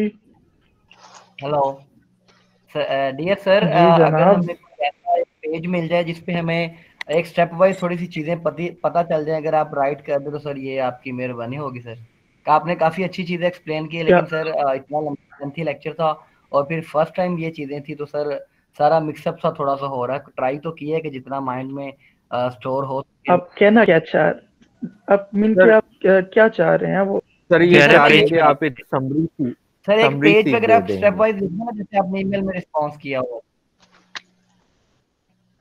मीन के क्या लिखूं? मुझे बताइए देखिए मैंने फ़ाइल ओपन कर लेता हूँ एक। मुझे बताओ क्या चाहिए मैं लिख देता हूँ अभी लिख देता हूँ फिर आप स्क्रीनशॉट ले लो उसका। ओके okay, सर मैं ये चा- चाह रहा हूँ कि आप स्टेप लिख दें कि आप डाटा व्यूज़ वाला जो पहले करेंगे फिर डाटा शो वाला उसके बाद उनके अ, वो नंबरिंग करेंगे ये सारी चीज़ें इस स्टेप में अगर हमें मिल जाए तो सर हमारे लिए ज़्यादा पहले हो सबसे पहले आपने S P S S open करना है सेकंड पे आपने वेरिएबल व्यू के अंदर वेरिएबल व्यू ओपन करना है S P S S file में Sir, I think we Then- can follow the video. It will be very lengthy for you to do that. हाँ वीडियो Definitely. है Follow the video आप देख लें. बस Yeah. आपके लिए बहुत लंबा हो जाएगा Definitely. ये काम इस तरह डेफिनेटली मैं बस ये लिख रहा then apply test interpret tables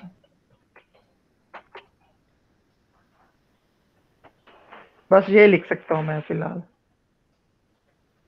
बाकी वीडियो देखिए। होप सो आप सबके लिए इजी हो जाएगा यार। सर आपकी ये फ़ाइल मिल सकती है हमें जिसमें टेबल्स वगैरह आपने बनाने सिखाए हैं? ये वर्ड की फाइल्स ये वाली? जी सर मिल सकती है? क्यों नहीं मिल सकती बच्चे? ये भी सर, शेयर सर कर मैं आपको ईमेल करती हूँ आप सेंड कर दें। बच्चे मुझे ईमेल ना करें मैं अभी आपको ग्रुप में भेज देता हूँ। अभी ले लो जिसको चाहिए। हाँ, जी सर ग्रुप में सेंड कर जी सर भेज दें अभी भेज दें काइंडली हाँ जी और किसी का सवाल है तो पूछिए। जी सर ये पूछना है कि जो आपने सिंगल आइटम्स को टेबल बनाया है फ्रीक्वेंसी वाला वो तो बना लिया ठीक है। उसके बाद उसकी इंटरप्रिटेशन में सिर्फ़ इतना ही बताना है कि इतने परसेंटेज ने स्ट्रांगली डिसएग्री कहा इतनों ने डिसएग्री कहा वो इतना ही लिखा है उसमें एनालिसिस में इंटरप्रेट में। आपका नाम क्या है? फरहाद। फरहान इसके अलावा यार उसका कुछ भी नहीं बनता यही लिखना पड़ता है आपको। अच्छा सही है। कुछ और बनता होता तो आपको बता देते।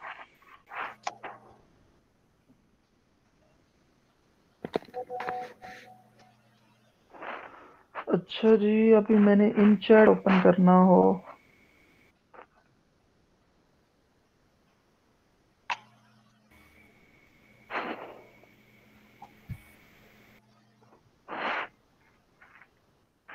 फ़ाइल कहाँ से मैं ऐड कर सकता हूँ? इधर से?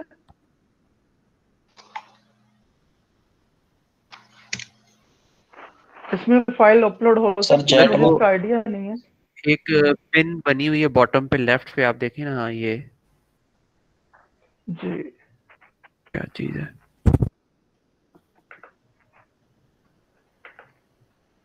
फ़िलहाल तो यही आ रही है। ये आप भी रिकॉर्ड कर रहे हैं ये रिकॉर्डिंग किसी की आ रही है साथ अटैचमेंट्स में? हाँ वो तो। रिकॉर्डिंग किसी लेकिन फ़िलहाल हाँ, इधर मेरे कर रहा ख्याल हूँ से नहीं होगी। आ रही है। चलिए जिसको चाहिए। वो मुझे ईमेल कर देना उसको दे दूँगा। सर आपका ईमेल क्या है? Sagheer dot Ahmad at rate B U dot E D U P U कोई एक बंदा ले ले फिर वो व्हाट्सएप ग्रुप्स में शेयर नहीं नहीं वो सारे किसी की कोई डिग्री है आप आप ऐसे कीजिए, अपने सुपरवाइजर से ले लीजिए। सेशन एक समझ लें ओपन एंडेड सेशन था, जिसकी वीडियो किसी के पास है तो वो ही ज्वाइन कीजिए।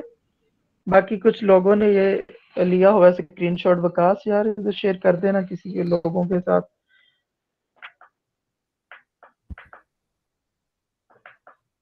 जी आई थिंक सो सबके क्वेश्चंस के आंसर दे चुका हूँ मैं। आज आज रात आप काफ़ी लोग जाग चुके हैं। और don't try to blame your supervisors they are doing their best और उनसे कोई भी चीज़ पूछनी हो तो रिक्वेस्ट कीजिएगा। वो आपके लिए सेशन भी अरेंज करेंगे आपको समझाएँगे भी। होप सो वो आपके साथ कोऑपरेट भी बहुत करेंगे। हाँ, मैं यही उम्मीद करता हूँ behave disagree with nice. you.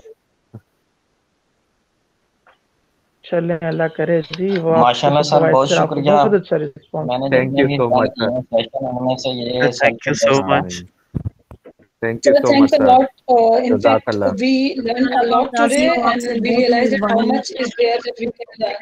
still. No problem ji और It was a very, fru- very much fruitful session. Enough said, sir. I have no words to thank you very much for all of you for giving time thank thank you sir इंशाल्लाह अब हम बस कुछ दुआ ना कुछ जरूर कीजिएगा कर कि लेंगे सर हमारी दुआएँ आपके साथ हैं अल्लाह आपके लिए आसानियाँ पैदा करे आपने पीएचडी की बात। करें सर आप आपकी पीएचडी पाकिस्तान से ही कर रहे हैं सर आप नहीं जनाब मेरा एडमिशन हुआ है जर्मनी के अंदर टीयू ड्रेजन यूनिवर्सिटी में तो कोरोना की वजह से अभी सब कुछ बंद पड़ा हुआ है तो अक्टूबर में इनटेक है तब तक इधर ही है Pakistan always be in our prayers. Don't think that it will go waste. We are going to remember you always, inshallah. Inshallah. इंशाल्लाह इंशाल्लाह।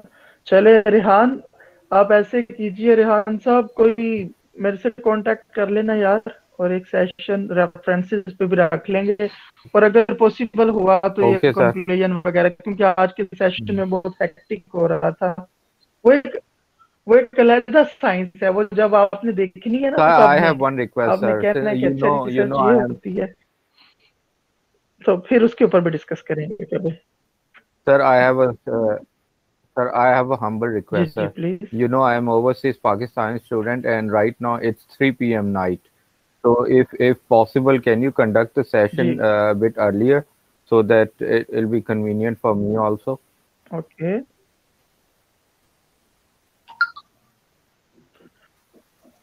It's 3 p.m. right now. Rihan मैं आपको अपना शेड्यूल बताता हो अगर इसमें कोई भी टाइम निकलता हुआ तो मुझे बताइए। सुबह अर्ली मॉर्निंग उठता हूँ साढ़े चार। मैं आपको बताता हूँ मेरे मेरे पास इससे स्लॉट फ्री है। साढ़े चार उठने के बाद नमाज़ वॉक जॉगिंग करने के बाद नाश्ता करता हूँ साढ़े सात बजे। यूनिवर्सिटी जाता हूँ आठ बजे। आठ बजे से लेके मुझे एक बजे तक यूनिवर्सिटी में लेक्चर्स होते हैं मेरे ऑनलाइन वो कंडक्ट करने पड़ते हैं। उनको क्योंकि मुझे इन्होंने दिया हुआ है section in which I have to interact with students physically जिस तरह आपके साथ में मुझे ऐसे इंटरेक्ट करना पड़ता है स्टूडेंट के साथ। एक बजे के बाद नमाज़ पढ़ी लंच किया दो बजे दोबारा अपनी सीट पे आए फिर थोड़ा काम किया अपना देखा असाइनमेंट्स वगैरह का रिप्लाई किए लोगों को। चार बजे छुट्टी होती है साढ़े चार बजे मेरी जर्मन लैंग्वेज की क्लास होती है पंजाब यूनिवर्सिटी के अंदर।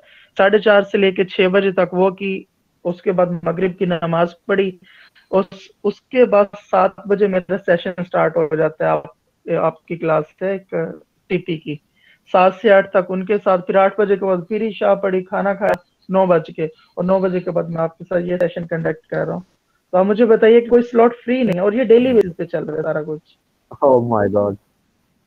Uh, I can तो डेफिनेटली मुझे यही टाइम मैनेज करना पड़ा आप सबके लिए। Okay, sir. No problem. चले। लेट्स देखेंगे। अब सब सो जाओ यार और होप सो आप कुछ काम कर लेंगे आप सब ओके sir. दुआओं में याद रखना आपने भी उठना सर सुबह जल्दी इंशाल्लाह. अल्लाह हाफिज. इतने लेक्चर पर नींद चली आ रही हाँ बाकी ये वीडियो शेयर कर देना अपने दोस्तों के साथ बाकी जो इसको डिमांड कर रहे हैं जी sir, we had a we- Allah WhatsApp Hafiz. group, so we'll share there. Thank you. Rehan हम- मैं व्हाट्सएप ग्रुप में नहीं हूँ हमारा सेशन अलग है तो हमें आप कैसे शेयर करेंगे हमारा अलग से ग्रुप है क्लास का I think आप you ये can ग्रुप ज्वाइन uh, कर just uh, सब्जेक्ट तो copy सबका the सेम ही है ना Yeah, right. Okay, fine. absolutely. Uh, you can just copy मैं and paste आपको the email link in, of the WeChat on the right side. So uh, Okay. someone, Sajid Mahmood, have mentioned the chat group over here. So you can just copy it and you can just paste it and join the group in the chat. If someone want to get it through email, Okay. not to WhatsApp group, so what? How can? I think it's not possible because maybe video आप size is, uh, आप size will be too large. अच्छा आप उधर है ना वो सफिया बीबी आप वो हमारा ग्रुप दूसरा है ना मैडम साले वाला तो मैं उधर भी शेयर कर दूँगा जो चीज़ उस ग्रुप में है ठीक है डोंट वरी जी ठीक ठीक थैंक यू